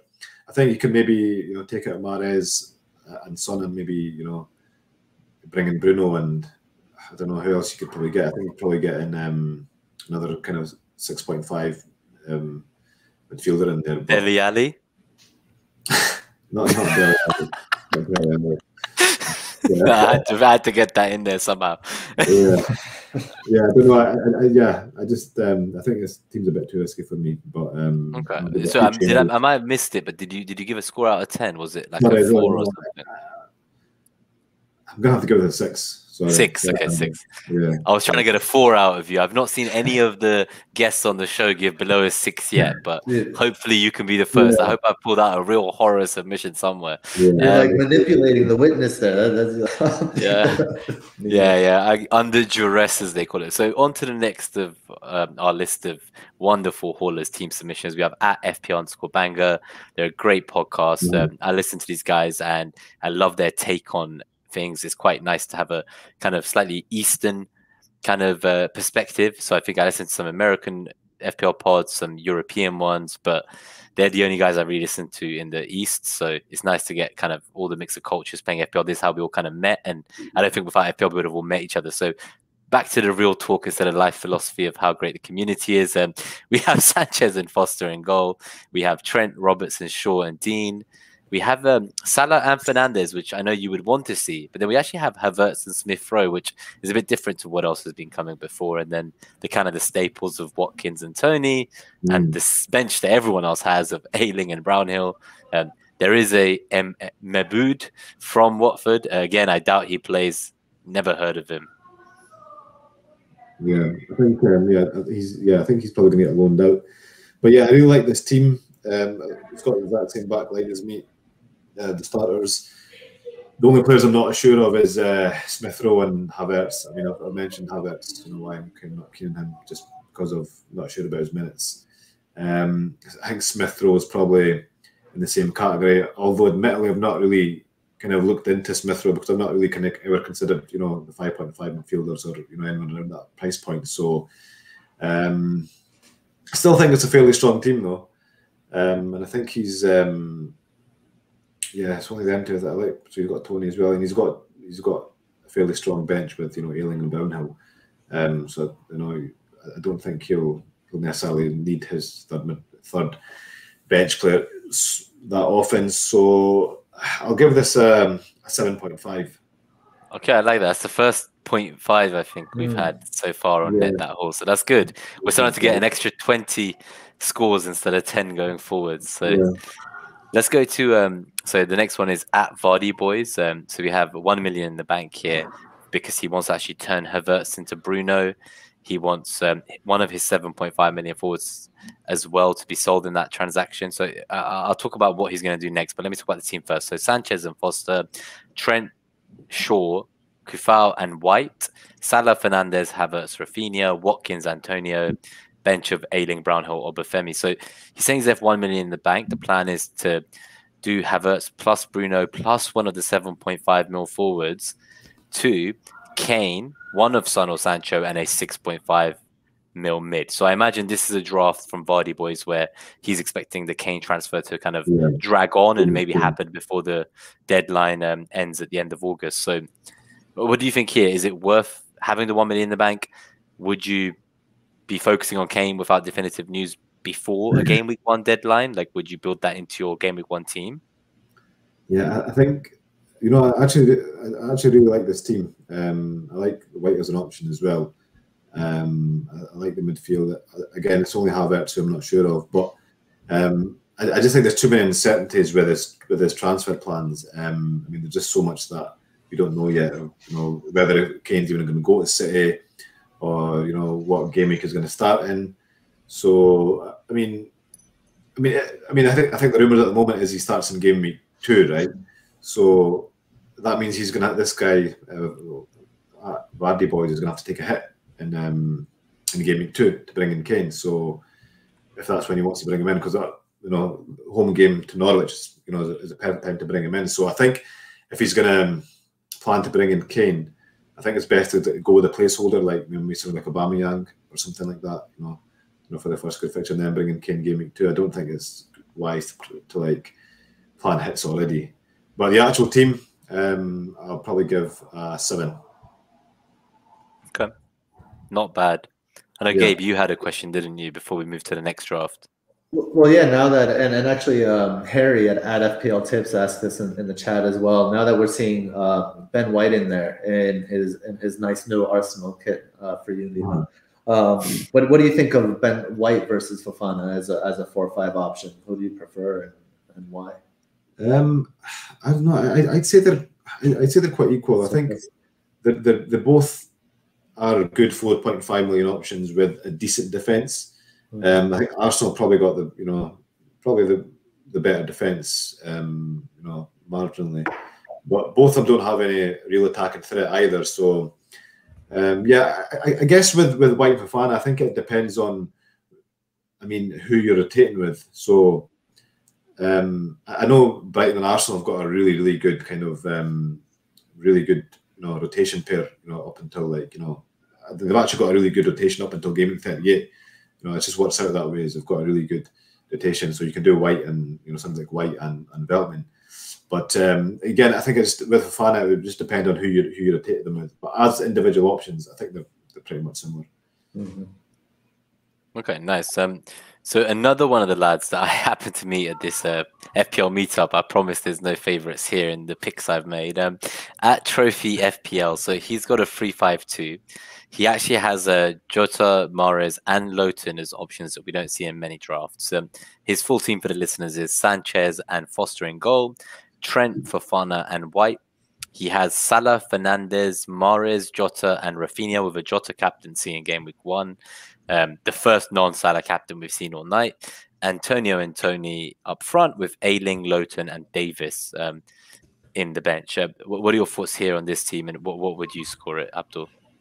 Yeah, I think um, I think he's a wee bit light in defence. Um, also think he's got too many risks in midfield with Mahrez and Jota. Um, you know, he's got Salah there, he's got Bruno there, Raphinha, which is good. But yeah, just again, too many risks. I think um I think I'm gonna give this one a gonna give it a six as well. Yeah, oh, you want to go lower, Abdul? Come on, you know you want to go lower. I can see it in your face. Come on, yeah. Too many risks in midfield, weak defense, and only two strikers. That doesn't sound like a six. The value is in defense, and they took money from defense and invested it in punts in midfield. Yeah, with no third striker. You know this. You want to get us below five. Yeah. Let's start on a five. I'm sorry, Trophy. What I will say is, by the way, Trophy actually came. Um, I think he had a 1.8k and a 1.4k as his last two ORs. So we do him a disservice mocking him on there, but I'm sure he'll defend his honor one day. Hey, everyone's fair game if you submit a team. You're fair game. Let's go, let's go with five. Let's go with five. Yeah, five. Nice. I like it. We've got a we've got a baseline yeah. of what future fives will be scored against now. So moving on to at FPL Flannel. So he has Meslier in goal, which is the first one we've seen tonight. He has Gunnarsson on the bench. He has Trent, Robertson, Shaw, and Coufal. He has Salah, Fernandes, Raphinha, Smith Rowe, Antonio, and Watkins. His bench is Burn, Cucho, and Gilmour. Um, he has 0.5 million in the bank. What are your thoughts here? And is Smith Rowe reliable? Because he doesn't really have a bench. Uh, yeah, I think. Um, I mean, he's he's gone. He's got a decent. He's got a good midfield apart from Smith Rowe. He's got a good defense. I think Meslier probably isn't worth five point five. Uh, sorry, five when you know you've got um, when you can get you know one of the defenders for four point five, and you've got Sanchez there as well. Um, yeah, I think his his bench is really really weak as well. Um, but I, th- I, think the actual starting eleven isn't too bad. Um, I think I'd probably give this a, a six point five. Uh, what if it was just the eleven you were scoring out of interest? Like if you weren't considering the fact that he has no cover or no depth. If it, if it was just the starting eleven, I think I'd probably give this. Um, I'd give it an eight. Hmm. Um, yeah, I think it looks strong, doesn't it? Yeah, I, the only player I don't like from the starting eleven is is Smith Rowe. Um, mm. And as I said, admittedly, I've, I've not really looked into him too much. You probably know better than me, Nima, um, you know, what his kind of prospects are. But yeah, I'd, I'd give it an eight. He does have 0.5 in the bank. So, um, mm-hmm. you know, he could turn Burn into Island or something like that. And that would give him some, yeah. Or, or Smith Rowe to a Sarr where he's more kind of, I guess, nailed on to play because I know everyone thinks Smith Rowe's kind of been given the number 10 shirt, it guarantees minutes, but we gave William Gallas a number 10 shirt. So I'll kind of leave that conversation there. And if you want to know what I think about Smith Rowe, I do love him as an asset. Um, go back and listen to any one of the other preseason pods where I'm sure I lax, uh, wax lyrical. But so on to the next one. So we have at Ray underscore QUR. So there's Ray Qureshi, another friend of the show. Um, he actually had a fantastic interview with Josh Bull, the previous winner of FPL, on his YouTube channel recently. So definitely mm-hmm. go check that out if you haven't. Um, he has a Bachmann and Foster and Gold, a combination that I have, which I know we're not seeing in many drafts. Um, he has Trent, Digne, and Shaw, Salah, Fernandes, Raphinha, and Buendia, Watkins, Antonio, Toney, and then White, Brownhill, and Omar Bombardelli on the bench. It's a free for free, one million in the bank. Um, what are your scores here for Ray? I really like this team. Um, I think he's got a good back line. Uh, again, he's won Bachmann over Foster, which I don't mind at all. Um, yeah, I mean, I think he can he can possibly use that one million to turn Toney into into Wilson. I know you probably don't like that email, but um, it's, a, it's a really good team. I really like that team actually. I think this is probably the and he's got a decent bench there as well with White and Brownhill um, who mm. you know, who, are, are, playing, who, are, who will get minutes. So I think this is definitely the best one I've seen so far. Um, I'm actually quite, I'm, I'm quite surprised he's got one million in the bank because. so, so, I was gonna say, uh, do you know what I love here? So he, I had a look at his team, and my team was very yeah. similar, and yeah. I, I kind of said to him like, "Oh, this team, um, you know, I could turn my 4.5 mil defender to Digne if I got rid of Calvert Lewin because I got rid of Toney for Antonio, if you remember me saying. So yeah. I could kind of go from Calvert Lewin to Toney, and then yeah. suddenly you've got much better assets. And you know, so Sarr could become Buendia. So he's only three players away from me. I think it's kind of Digne yeah. for one of my four point fives, Buendia for my Sarr, and then Toney for my DCL. But the one yeah. in the bank that is a bit of a shock. Yeah, yeah, no, it does. I'm just, I'm just kind of um, a bit bewildered by that, but that it just goes to show how, how good a team that is. Um, I guess it means you don't have to always spend every penny to get a strong yeah. team out, right? exactly. Yeah. We can yeah. be very guilty of that. So, um, just because I want to get into the live Q and A as well, I do want to make sure that we do get through more of these teams that we got from the kind of pre-submitted ones. So, I want to make sure the live Q and A is quite fun. So, let's mm. just do the last RMTs. There's only a few left. So, we have at mm-hmm. Sacred Silence, um, another friend of the show. So, they've named this the penalty forwards party. Um, I ask, is this too many risks? So they have Bachmann and Foster, they have Trent Shaw, Digne, Salah Fernandes, Son Buendia, and Sarr, Toney, and Teemu Pukki. They also have Dunk on the bench with Omar Bombardelli and Obafemi. What, what are your thoughts here, Abdul? I've not mm. seen a team like this. It's one of the reasons I picked it. Yeah, yeah. I mean, I mean, without sounding too harsh, uh, I think this is probably the. Um, find a new low. They're probably the poorest team I've seen so far. I think I think it needs a few changes. so um, we've seen a five. This must be below. Are you saying? Yeah, it has to be because that front line is just not sustainable. You know what I mean? He's got Toney and Pukki penalty uh, forwards party. Is this now a good time to bring in the news that we saw today, Abdul? That perhaps before they made this draft, they hadn't seen that obviously the Premier League and Mike Riley, I think it is the chief of the Premier League referees, he said they're going to cut down on soft penalties this season, and the yeah, changes yeah. to VAR, they believe it's going to prevent kind of 20 of the goals that got disallowed before from offside. Mm-hmm. So those kind of toenail offsides are no longer a thing, but also penalties like the one that Sterling won to get England into the final of the mm-hmm. Euros. Um, they're probably not going to be given either. So, do you kind of think actually that now penalties are going down? Maybe you're being even harsher on this draft than you would have been prior to that news. And while we're here, as well as your score out of 10, what's your thoughts on that whole information that's come out that obviously um, the, people are saying death of penalties 0308 21 and they're time stamping it. Like, is that true? I d- I don't know. I mean, the thing with that information, honestly, I'd probably just ignore it because we don't know. I mean, the, the rules are always there, but they're not always implemented the way they should. So, I mean, I wouldn't be surprised if you know the, the penalty ratio stayed the same or or whatever. Um, so, yeah, I wouldn't read too much into that information, you know, in terms of applying it to our FPL teams. Um, so, yeah, I, I mean, me personally, I think I'm just going to kind of not take that into consideration at all when looking at my FPL team or you know thinking about penalty takers. Um, going back to the team again, too many. I mean, that, that front line and, and bench just kind of um, it needs to be reinvested. I think. Um, I think Son. I don't know if he's kind of worth the early fixtures. Then and Pukki's early fixtures are, are terrible. Um, I, I, know he kind of got off got off to a flyer, you know, two seasons ago. You know, scoring against like City and Liverpool and that, but. By the way, I should say they, they have already got Watkins instead of Pukki now, in case that changes your score out of ten. The team has evolved since they submitted. Once, once you submit the test, I'm sorry, there are no changes are allowed. I'm gonna I'm gonna rate the team that's here, right? Yeah, um, yeah, yeah. Let's do that. We need something below the five. We need a new baseline below that. I think I'm gonna go with four point five. That's okay, generous. not a four That's just. That's being generous. And one thing I realized, by the way, um, Abdul, is we didn't actually, um, as much as we waxed lyrical about Ray's team, we didn't give it a score out of 10. And also, Tom Stephenson, he's kind of asked, where would you go from the 6.5? So I know we've both said this is great, but you can't really transfer any of your defenders and strikers. Like you would probably yeah. keep them for at least five weeks, and you're going to keep Salah and Fernandez. So what do you do for Raphinha and Buendia Like, where do we go from Tom Stephenson? And also, what do you score no, Ray? I think uh, Tom Stephenson's comment was for the next one. For the, the next two, one, okay. The, the two 6.5 forwards. So the what, forwards, what's, okay. Uh, what's the grade here?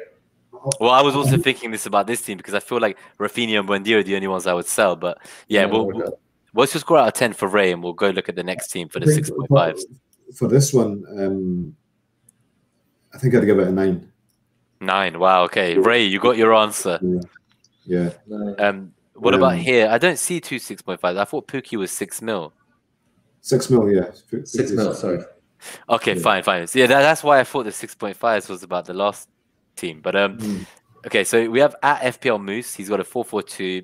They want to know if it's worth all the sacrifices made elsewhere, because they've kind of gone for big guns in the midfield. Um, they have Sanchez and Foster, Robertson, Ayling, Fofana, and Sierralta starting in the 11. I think this might just be them trying to troll me for the recording. But um, Salah, Fernandes, De Bruyne, and Smith Rowe, Bamford, and Watkins. So first Bamford we've seen, first De Bruyne we've seen, Brownhill, Aït-Nouri, first Aït-Nouri we've seen, and Davis. Um, what are your thoughts on Moose's team and what score would you give it? Yeah, uh, you know? It's, it's, it's, it's different. Uh, I'm not sure about Sierralta if, he, if he's even a starter. Um, I've not I mean, really looked into Watford defence apart from um, you know Kiko.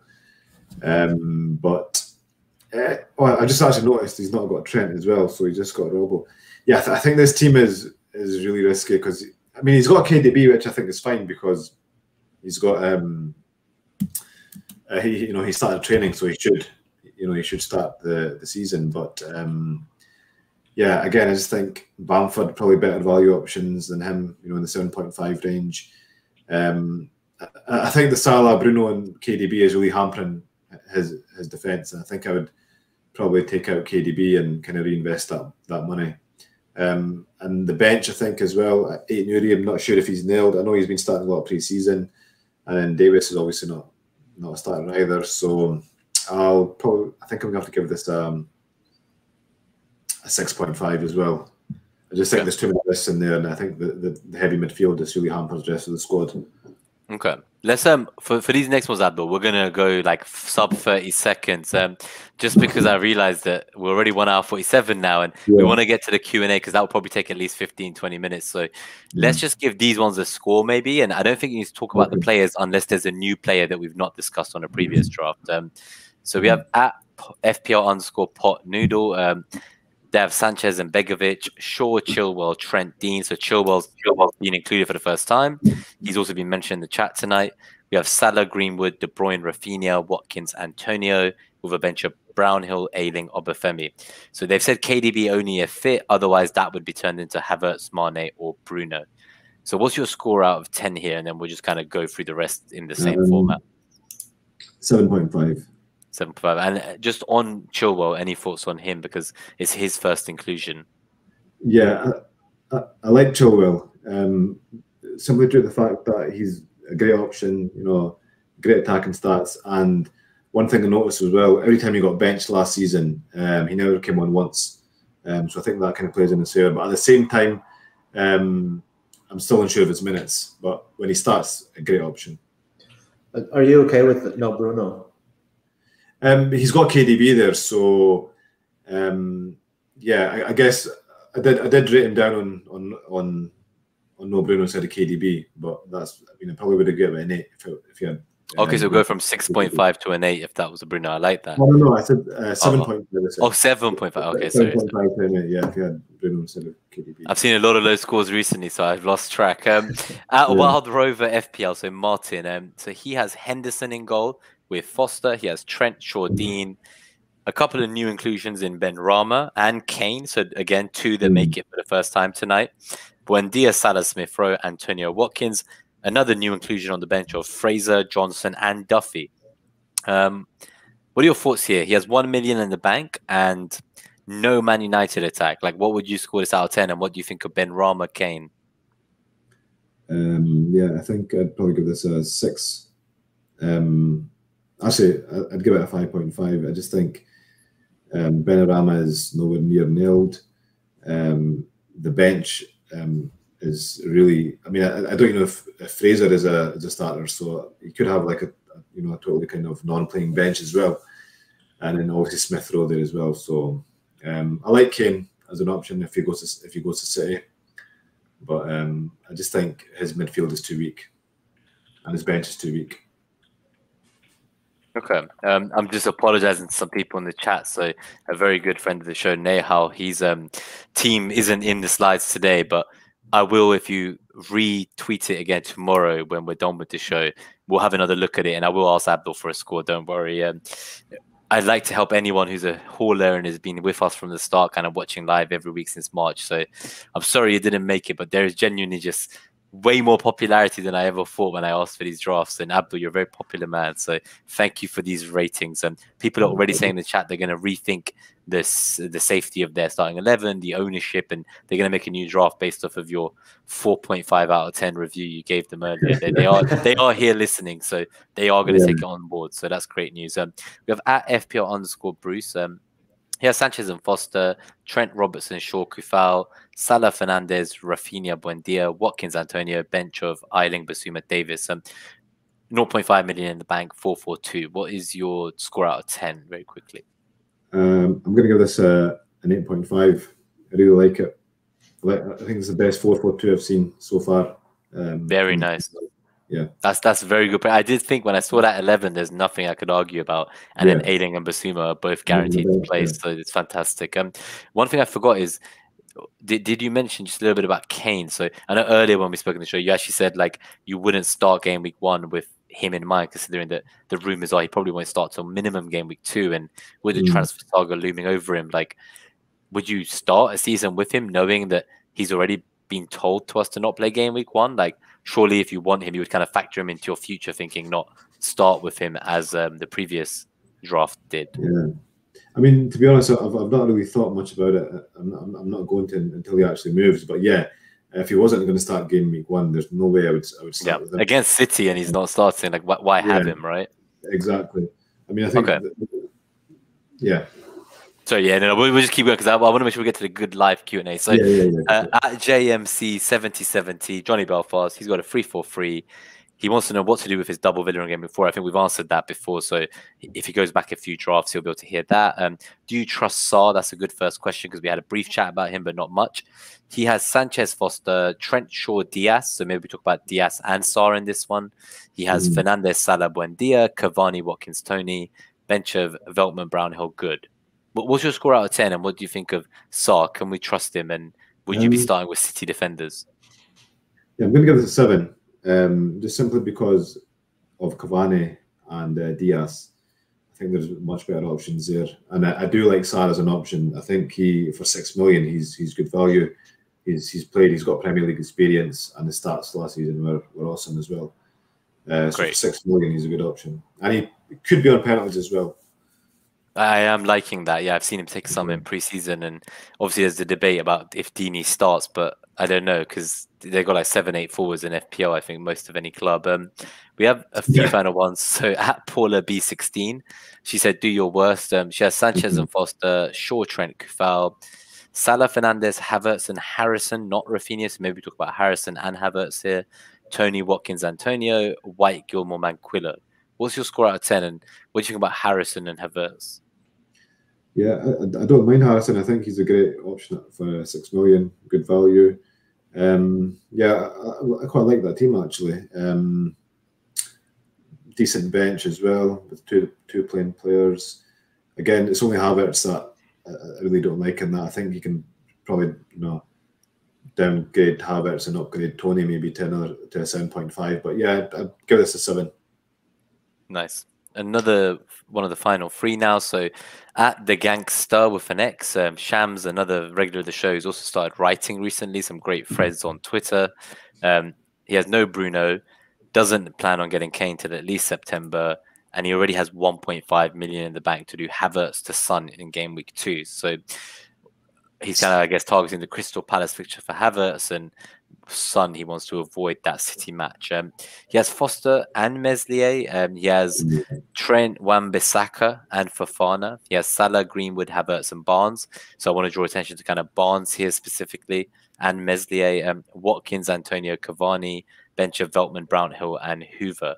Would you score um, Shams' team out of 10? Uh, I'm going to have to give this a, a 6.5. 6.5. Okay. Yeah. And what, what do you feel about um, Barnes? Someone said that earlier in the chat. They said that he just started a game. He had 60 to 70 minutes, looked good. Um, is that someone you would go for with the uncertainty? No, uh, just simply due to the uncertainty, um, especially not for game week one. Um, yeah. Not somebody that I could really trust now. And then final two, so at FPL underscore 4P, he has Bachmann and Foster, Shaw, Targett, Veltman, and Coufal. Um, so yeah, quite light defense. And Salah, Fernandes, Son, and Havertz. Antonio mm-hmm. and Watkins with Gibbs, White, Obafemi, and Manquillo on the bench. So he's gone big in the middle with four almost premium price players in the middle of the park. And he wants to do Havertz to Mahrez in game week two and has no Trent. What are your thoughts here? What would you score this out of 10? Uh, yeah, I'm going to, I mean, no Liverpool defense. This has to be like a, a 5.5 for me. Um, 5.5. Yeah, especially with like Havertz and just like no Liverpool defense and quite quite a weak defense as well. And I think I think mm-hmm. so. So the final one then, so Astralar MMB one, so Simeon Astralar, regular of the show as well. He has zero million in the bank. Bachmann and Meslier. He has Digne, Shaw, Fofana, Coufal. He has Salah, Mane, and Smith Rowe. So I thought this was quite interesting. He has Calvert Lewin, Antonio, and Jimenez as well as mm. Raphinha, Dias, and Brownhill. Um, it's a very interesting 15 with the likes of kind of Jimenez, Mane, Dias, and Smith Rowe. Um, there's also obviously the likes of Raphinha and Dias bench for their tougher fixtures. Um, I feel like this is going to be a very interesting one to talk about as our final one, which is why I left it till the end. What do you think here? Yeah, I mean, I mean, I think Jimenez is a really risky option because we don't know what he's going to be like after his um, his injury. Dias is just way too expensive to, to bench. Um, and then Mane Salah double up. I mean, I'm not totally against the Mane Salah double up, to be honest. Um, but no Liverpool defence. I think it's one of those teams where it kind of looks good and it could work out, but it's just riddled with risks. And um, yeah, and then you've got there's too much money. There's too much money in, in the goalkeepers as well. Um, you got the um, but you got the Mane as well, right? You got the kind of the Mane um, and Salah double up over Bruno, as you say. You've got the five mil and a four point five keeper. You got six mil defender bench. Um, someone asked, "Is this a zombie team?" So I think uh, my question for you is, what would you score it generally, and then what would you score it if it was a zombie team? I think generally, uh, generally, I'd, I'd give it a five because although it has good players, I just don't think the structure is right at all. Um, so I'd give it a five. But as a zombie team, um, I'd probably you know give it a. a Wait, I'll, I'll, put it back on the screen for you. I just realized you were trying to review it, and I removed it from the screen. Yeah, no, what your final score? Seven point five as a zombie team. Okay, yeah. so this will be the first time we've got to like one hour fifty eight, and we're just getting to the live Q and A. So this is definitely um later than I promised Abdul he'd be gone. So yeah, I'm going to start pulling up questions that came in the live chat, Abdul. Um. We had talked about kind of a few things. While I'm pulling up some questions, I'd love to hear from you about what you consider kind of maybe your best moment of last season, what your worst moment of last season was, and what was the lesson you learned. And in the meantime, I'm going to start going through the viewer Q and A's and Gabe as well. If you see any like uh, put them through in the chat. We'll start to pull them up. Mm-hmm. So you want me to? So, so best moment, worst moment, and then lesson uh, learned, all from last season, I guess. Um, I think the best moment was probably um, playing my bench boost in game week 19. That took me from like 18k to 5k. I think that was a real turning point in my season, and um, from there on, I just kind of, um, you know, kind of stayed within that kind of range. I didn't really, to be honest, I actually was quite lucky. I didn't really have any bad moments last season. I think the most frustrating thing about last season though was the fact that once I got to 5k, once I made that move in game week 19, I didn't really kind of make any real strides. Um, so I, got to 5k in game week 19 and I finished 4.9k. Um, so I just kind of yo-yoing up and down between you know 5 and 12k. So I guess that was quite frustrating. Um, but yeah, I, I guess overall, you know, the season was was fantastic. Nice. Um, so just before we go into the Q and A, um, we've got the first few questions ready to pull up on screen. I'm gonna play another short um, ad. So we're in a partnership with AllAboutFPL.com, where I am one of the co-editors with Surya and his team. It's a completely free to use site. It intends to always stay that way. So while we all just kind of have a drink for 20 seconds, I'm just gonna play you um, Mariners. What are you waiting for? Are you craving more FPL content? Then look no further than allaboutfpl.com.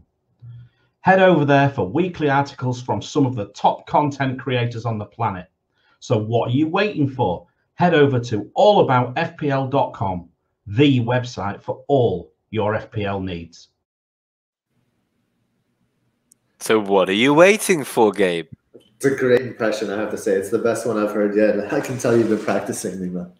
I, well, it's a new one for me, but let's get up the first question from Andy Martin. So he asks Abdul, do you know your game week one to game week four captains already, or are you flexible?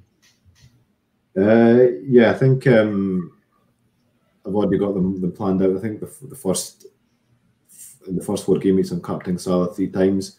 Um, to be honest, I, would written it down um, a few weeks, like last week, and I've, I, don't, I, I wrote them down for like the first eight game weeks but um, I've kind of forgotten now. But I know that Salah was in there like about five, five or six times. So yeah, I do captain. Um, I do plan the captains, and I will captain them. I will plan for the first eight game weeks definitely. Do you remember last season when there was a very brief period, uh, Abdul, where you didn't have Salah, and I DM'd you to say you should rename to FPL Mane? You betrayed him. You yeah, betrayed yeah. him. so when it comes to FPL, there's no biases. Um, even though I love the guy, no, if he if he turns into you know a terrible player, he's he's going right on my team. and he's gonna do what I did, man. I sold him in his blank game week in 29 for Aubameyang, who then had malaria and oh. blanked. And over the next two game weeks, he still kind of underscored Salah's game week 30 just from one game week. Um, but no, um, we have another question here as well. So we have uh, ooh, wrong one. I clicked the wrong one. So we have Ramanathan here. So he says, tips for players or managers who are just a year into the game or less. So I know some people joined midway through last season. This will be their first full mm-hmm. season. What's your advice to those managers? Um, I would say for, for, me, I think the best way to learn, honestly, is to, to, learn from other, you know, top managers who have been playing the game a long time. I think for me, that's been, you know, one of my, you know, how I've improved my game so much is kind of discussing and talking to other kind of like-minded managers and guys who've been playing the game a long time. That's where I've learnt the most from. I mean, uh, obviously reading articles and stuff is great, but I think to actually improve your game, um, you know, like from the core, um, it's definitely good to um, at least, you know, kind of follow. Uh, you know, if you've got Twitter, I think Twitter's a great place for FPL. You know, it can be obviously a bit overwhelming at times, but I think it's a great place to kind of you know follow these top managers and see what they're doing and learn from them. That, I think that's a really good tip. Um, something I'm just going to pull up your uh, your first draft app. I'm just going to quickly pull it up on screen because there is a question about it. Um, so they ask in your first draft, you have two 6.5 mids, Buendia and Raphinha. How do you move to a 7.5 to 9 million midfielder um, if they start firing kind of from week one? And I think they said the same is true of team two. Like what do you do here, where you've got all the money in the back. So in either draft, like what do you do if that 7.5 to 9 mil range kind of pops off? What, what are your thoughts there? Yeah, I guess I just have to find which player to sacrifice. I guess with a 4 3 3, I think the fall guy would probably be Robertson uh, because I've already got Trent uh, on the double up. So for that, it would be Robertson uh, I'd get rid of. Um, in the three four three, I'm not entirely sure to be honest. Um, I, I, guess I just have to kind of. I mean, I, I, think I find it really hard trying to answer these types of questions, which are quite like you know scenario based. But I, I think before it happens as well, like you happens, might have yeah. backed the right horse, right?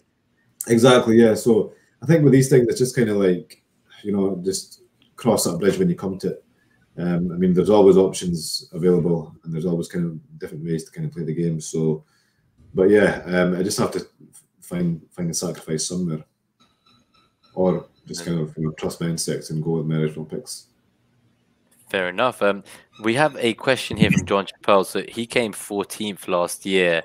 Um, I see a few jokes recently on Twitter, John, where someone said in a reply to your tweet, sorry, what rank did you come? And you said 14th. You said, I like to rustle feathers. I know it pisses people off. So I just want to shout you out for that one. Um, his question to you is earlier on, you said that you don't really worry about your OR in the first few weeks because you know that lots of people are using chips and there's variants and eventually the cream will rise to the top. Um, what game week would you start panicking if you're not a good overall rank? Um, I know for me, just to say, firstly, like I'm aiming for top 100k as I mentioned. Um, if I'm not there by about I'd say game week 30, that's when I'd be panicking. I don't really think I even consider worrying before that for a top 100k.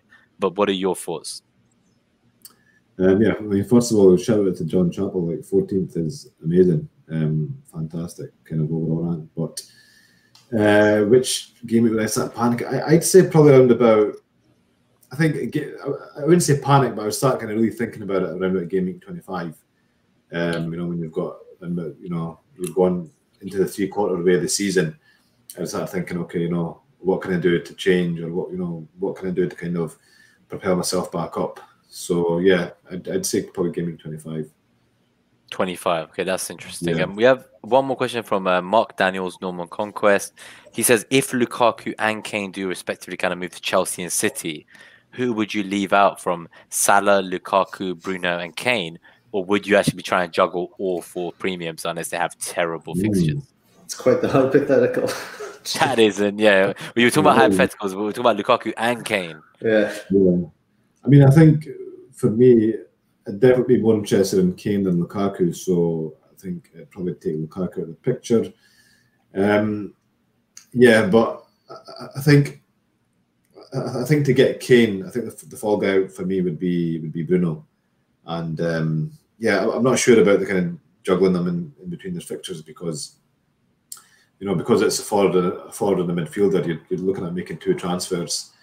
Um, so it'd have to be like you know really everything would have to go kind of according to plan, which you know probably wouldn't because you know you've got other, you'll have like other fires to put out, you'll have injuries. So yeah, I mean, I, I, I mean to answer the question, Lukaku would probably not be in my thinking and uh, I'd probably go with uh, Salah and, and Bruno or, or, Salah and Kane. To go with proven assets, and then maybe say game week seven when those Chelsea fixtures turn. If if Lukaku has brought himself into our thinking, we've had the time to decide at least, right? Yeah, possibly, possibly. But I, I can't see me even with Chelsea's fixtures, you know, taking Kane out for Lukaku. Fine. Um, we have a question from 11 Plus Wizard. It was earlier on. He said, How rotation prone is Cavani? So I know we can't obviously answer that definitively, but my understanding was that obviously he's getting on a bit. Um, he is still a great player, don't get me wrong, but it looks like when they bought Varane at United, they were talking about that allows them to play some new kind of interesting tactics. Um, they've talked about 4 3 3 in the past. Um, I think in that 4 3 3, I'm not convinced Cavani would be the starter. I think it would be a more fluid and pacey front three. So you're looking at the likes of Martial, uh, Sancho, Greenwood, maybe Rashford. So kind of those four would be competing for those three spots. Um, I feel like Cavani would be a rotation risk then. However, with Rashford out now, like is Cavani an interesting punt? I guess to start the season, and because for me, once Rashford's back from his surgery, I I wouldn't be going near Cavani personally, but maybe at least now while Rashford's out, would that kind of get into your thinking. There was a few drafts tonight, wasn't there, yeah. with him in it? I mean, I just think there is still uncertainty there, and, and because he's eight point five, and you know, just because the options we've got at seven point five, I mean, and even DCL at eight, I just don't see, you know, any reason to go with Cavani. Yeah, no, I, I agree. Like, I, yeah. I wouldn't go near there. I think most of us have probably Shaw or some kind of United defensive asset, yeah. whether it's Henderson or someone else. Um, we all have Bruno most likely, and if we don't, we've got at least Greenwood. And if Sancho is kind of one of your options you're thinking about, I'd rather be kind of looking there for my United assets than putting one yeah. on Cavani. Um, I'm going to go to the last kind of one or two questions before we wrap up and get out of here for the night. So there's a few people who are just thanking you, Abdul. They're already pleased that you rated their teams. They're really happy. I think a lot of them are taking that advice on board. So good, good. it's been very helpful. Um, so the last couple of questions we have, one of them is from Shams. So it's to everyone. He kind of says, "What do you think about Reguilon and Fofana, um, especially when Reguilon's now under Nuno, who is supposedly playing a kind of attacking back four, um, not the free back three that we were expecting from him potentially, where people got excited about Doherty. Now I've heard Doherty's on the transfer list. So um, with that Doherty news out the window, Reguilon, I think he's only five mil. So what do you think of kind of him and a 4.5 Fofana together as a pair? Um, to be honest, I've not really looked at their. I mean, is that does, does it mean as a rotation? It, it sounds like it. I'm not sure their fixtures rotate well. Um, but maybe they do. He can. Hopefully, he'll mention in the chat at some point. Yeah, I mean, I don't know. I mean, I've not really looked at Reguilon. I'm not really interested in the Spurs defence. Um, and as I said, Fofana, I think it is a good option. It's, it's, not really something that excites me, just because he's like, he's he's not really got much attacking threat, and I think there's other better 4.5 million uh, defenders, just like Ayling there, for example. Um, so yeah, I mean first thoughts on on Reguilon Fofana is that no, I, I, don't really like it. But I mean, if they rotate well, maybe. But I think yeah, I, am not really generally Spurs defense no go. I think I agree. Yeah. Um, yeah. So the final question from another regular show is Devindra Raj, and then we will really get out of here. So it says he has Salah and Son. He says mm-hmm. um, the part of the question that confused me is he said, "Would you consider Mane for Bruno?" So I just wanted to put that up there, uh. Uh, maybe you can tell us. Like you have a lot of drafts in your camera roll, I can tell. But uh, I, I, don't know how Mane is coming in for Bruno with Salah and Son, but maybe you can yeah. clarify. In the meantime, um, my, my, question is: Would you double up on Salah and Mane? Because the popular move seems to be Robbo and Trent plus Salah. Would you yeah. ever do it the other way around at the cost of Bruno, especially? Uh, no, I, wouldn't do it at the cost of Bruno. But I mean, I just think, I mean, I've, I've got a, I've got a good feeling about Mane this season, right? But I don't usually make decisions on, on good feelings. So, but yeah, um, I, I wouldn't I wouldn't sacrifice him for I wouldn't sacrifice Bruno for Mane, especially when you've got Salah there. But um, I wouldn't be surprised at all if Mane had a, a banging season, you know, this year. I think last season was a bit of a, an anomaly for him. But um, yeah, to play it safe, um, you know, if you look at ownership and you know even Bruno's credentials, much safer to go with Bruno. We have put his correct team up for the podcast listeners. So he has Salah, Son, and Bruno, and it would have been Mane for Bruno. But um, it's nice to hear your thoughts on that. So I think we're pretty much wrapped up for the evening now. Um, it's been a pleasure, Abdul. Um, we have kept you far too long. So what I'm going to do is I'm going to play the music to get us out of here. Thank you to everyone who tuned in. Um, it's been great chatting to you all on the show, and we're hoping that maybe Abdul can come back in the future because Hibbo is very upset that he missed this show, Abdul, and he would love to speak to you and pick your brain in a future yeah. time. Yeah, no, definitely, definitely come on again. Awesome, and um, yeah. looking forward to kind of um, reading through the rest of your preseason content on Fantasy Football Hub. And you know, if anyone wants to find the link to Abdul's articles, we will share it tomorrow. So the whole mini series that he wrote, twenty one thousand words. Um, it, it's kind of double the length of my dissertation, I believe. So you will do well reading it. You will honestly do well reading it. But on that note, it's been a pleasure, Abdul. Pleasure, Gabriel. Thank Thanks you, everyone in the live chat. And we'll see you guys. I'm just going to put this on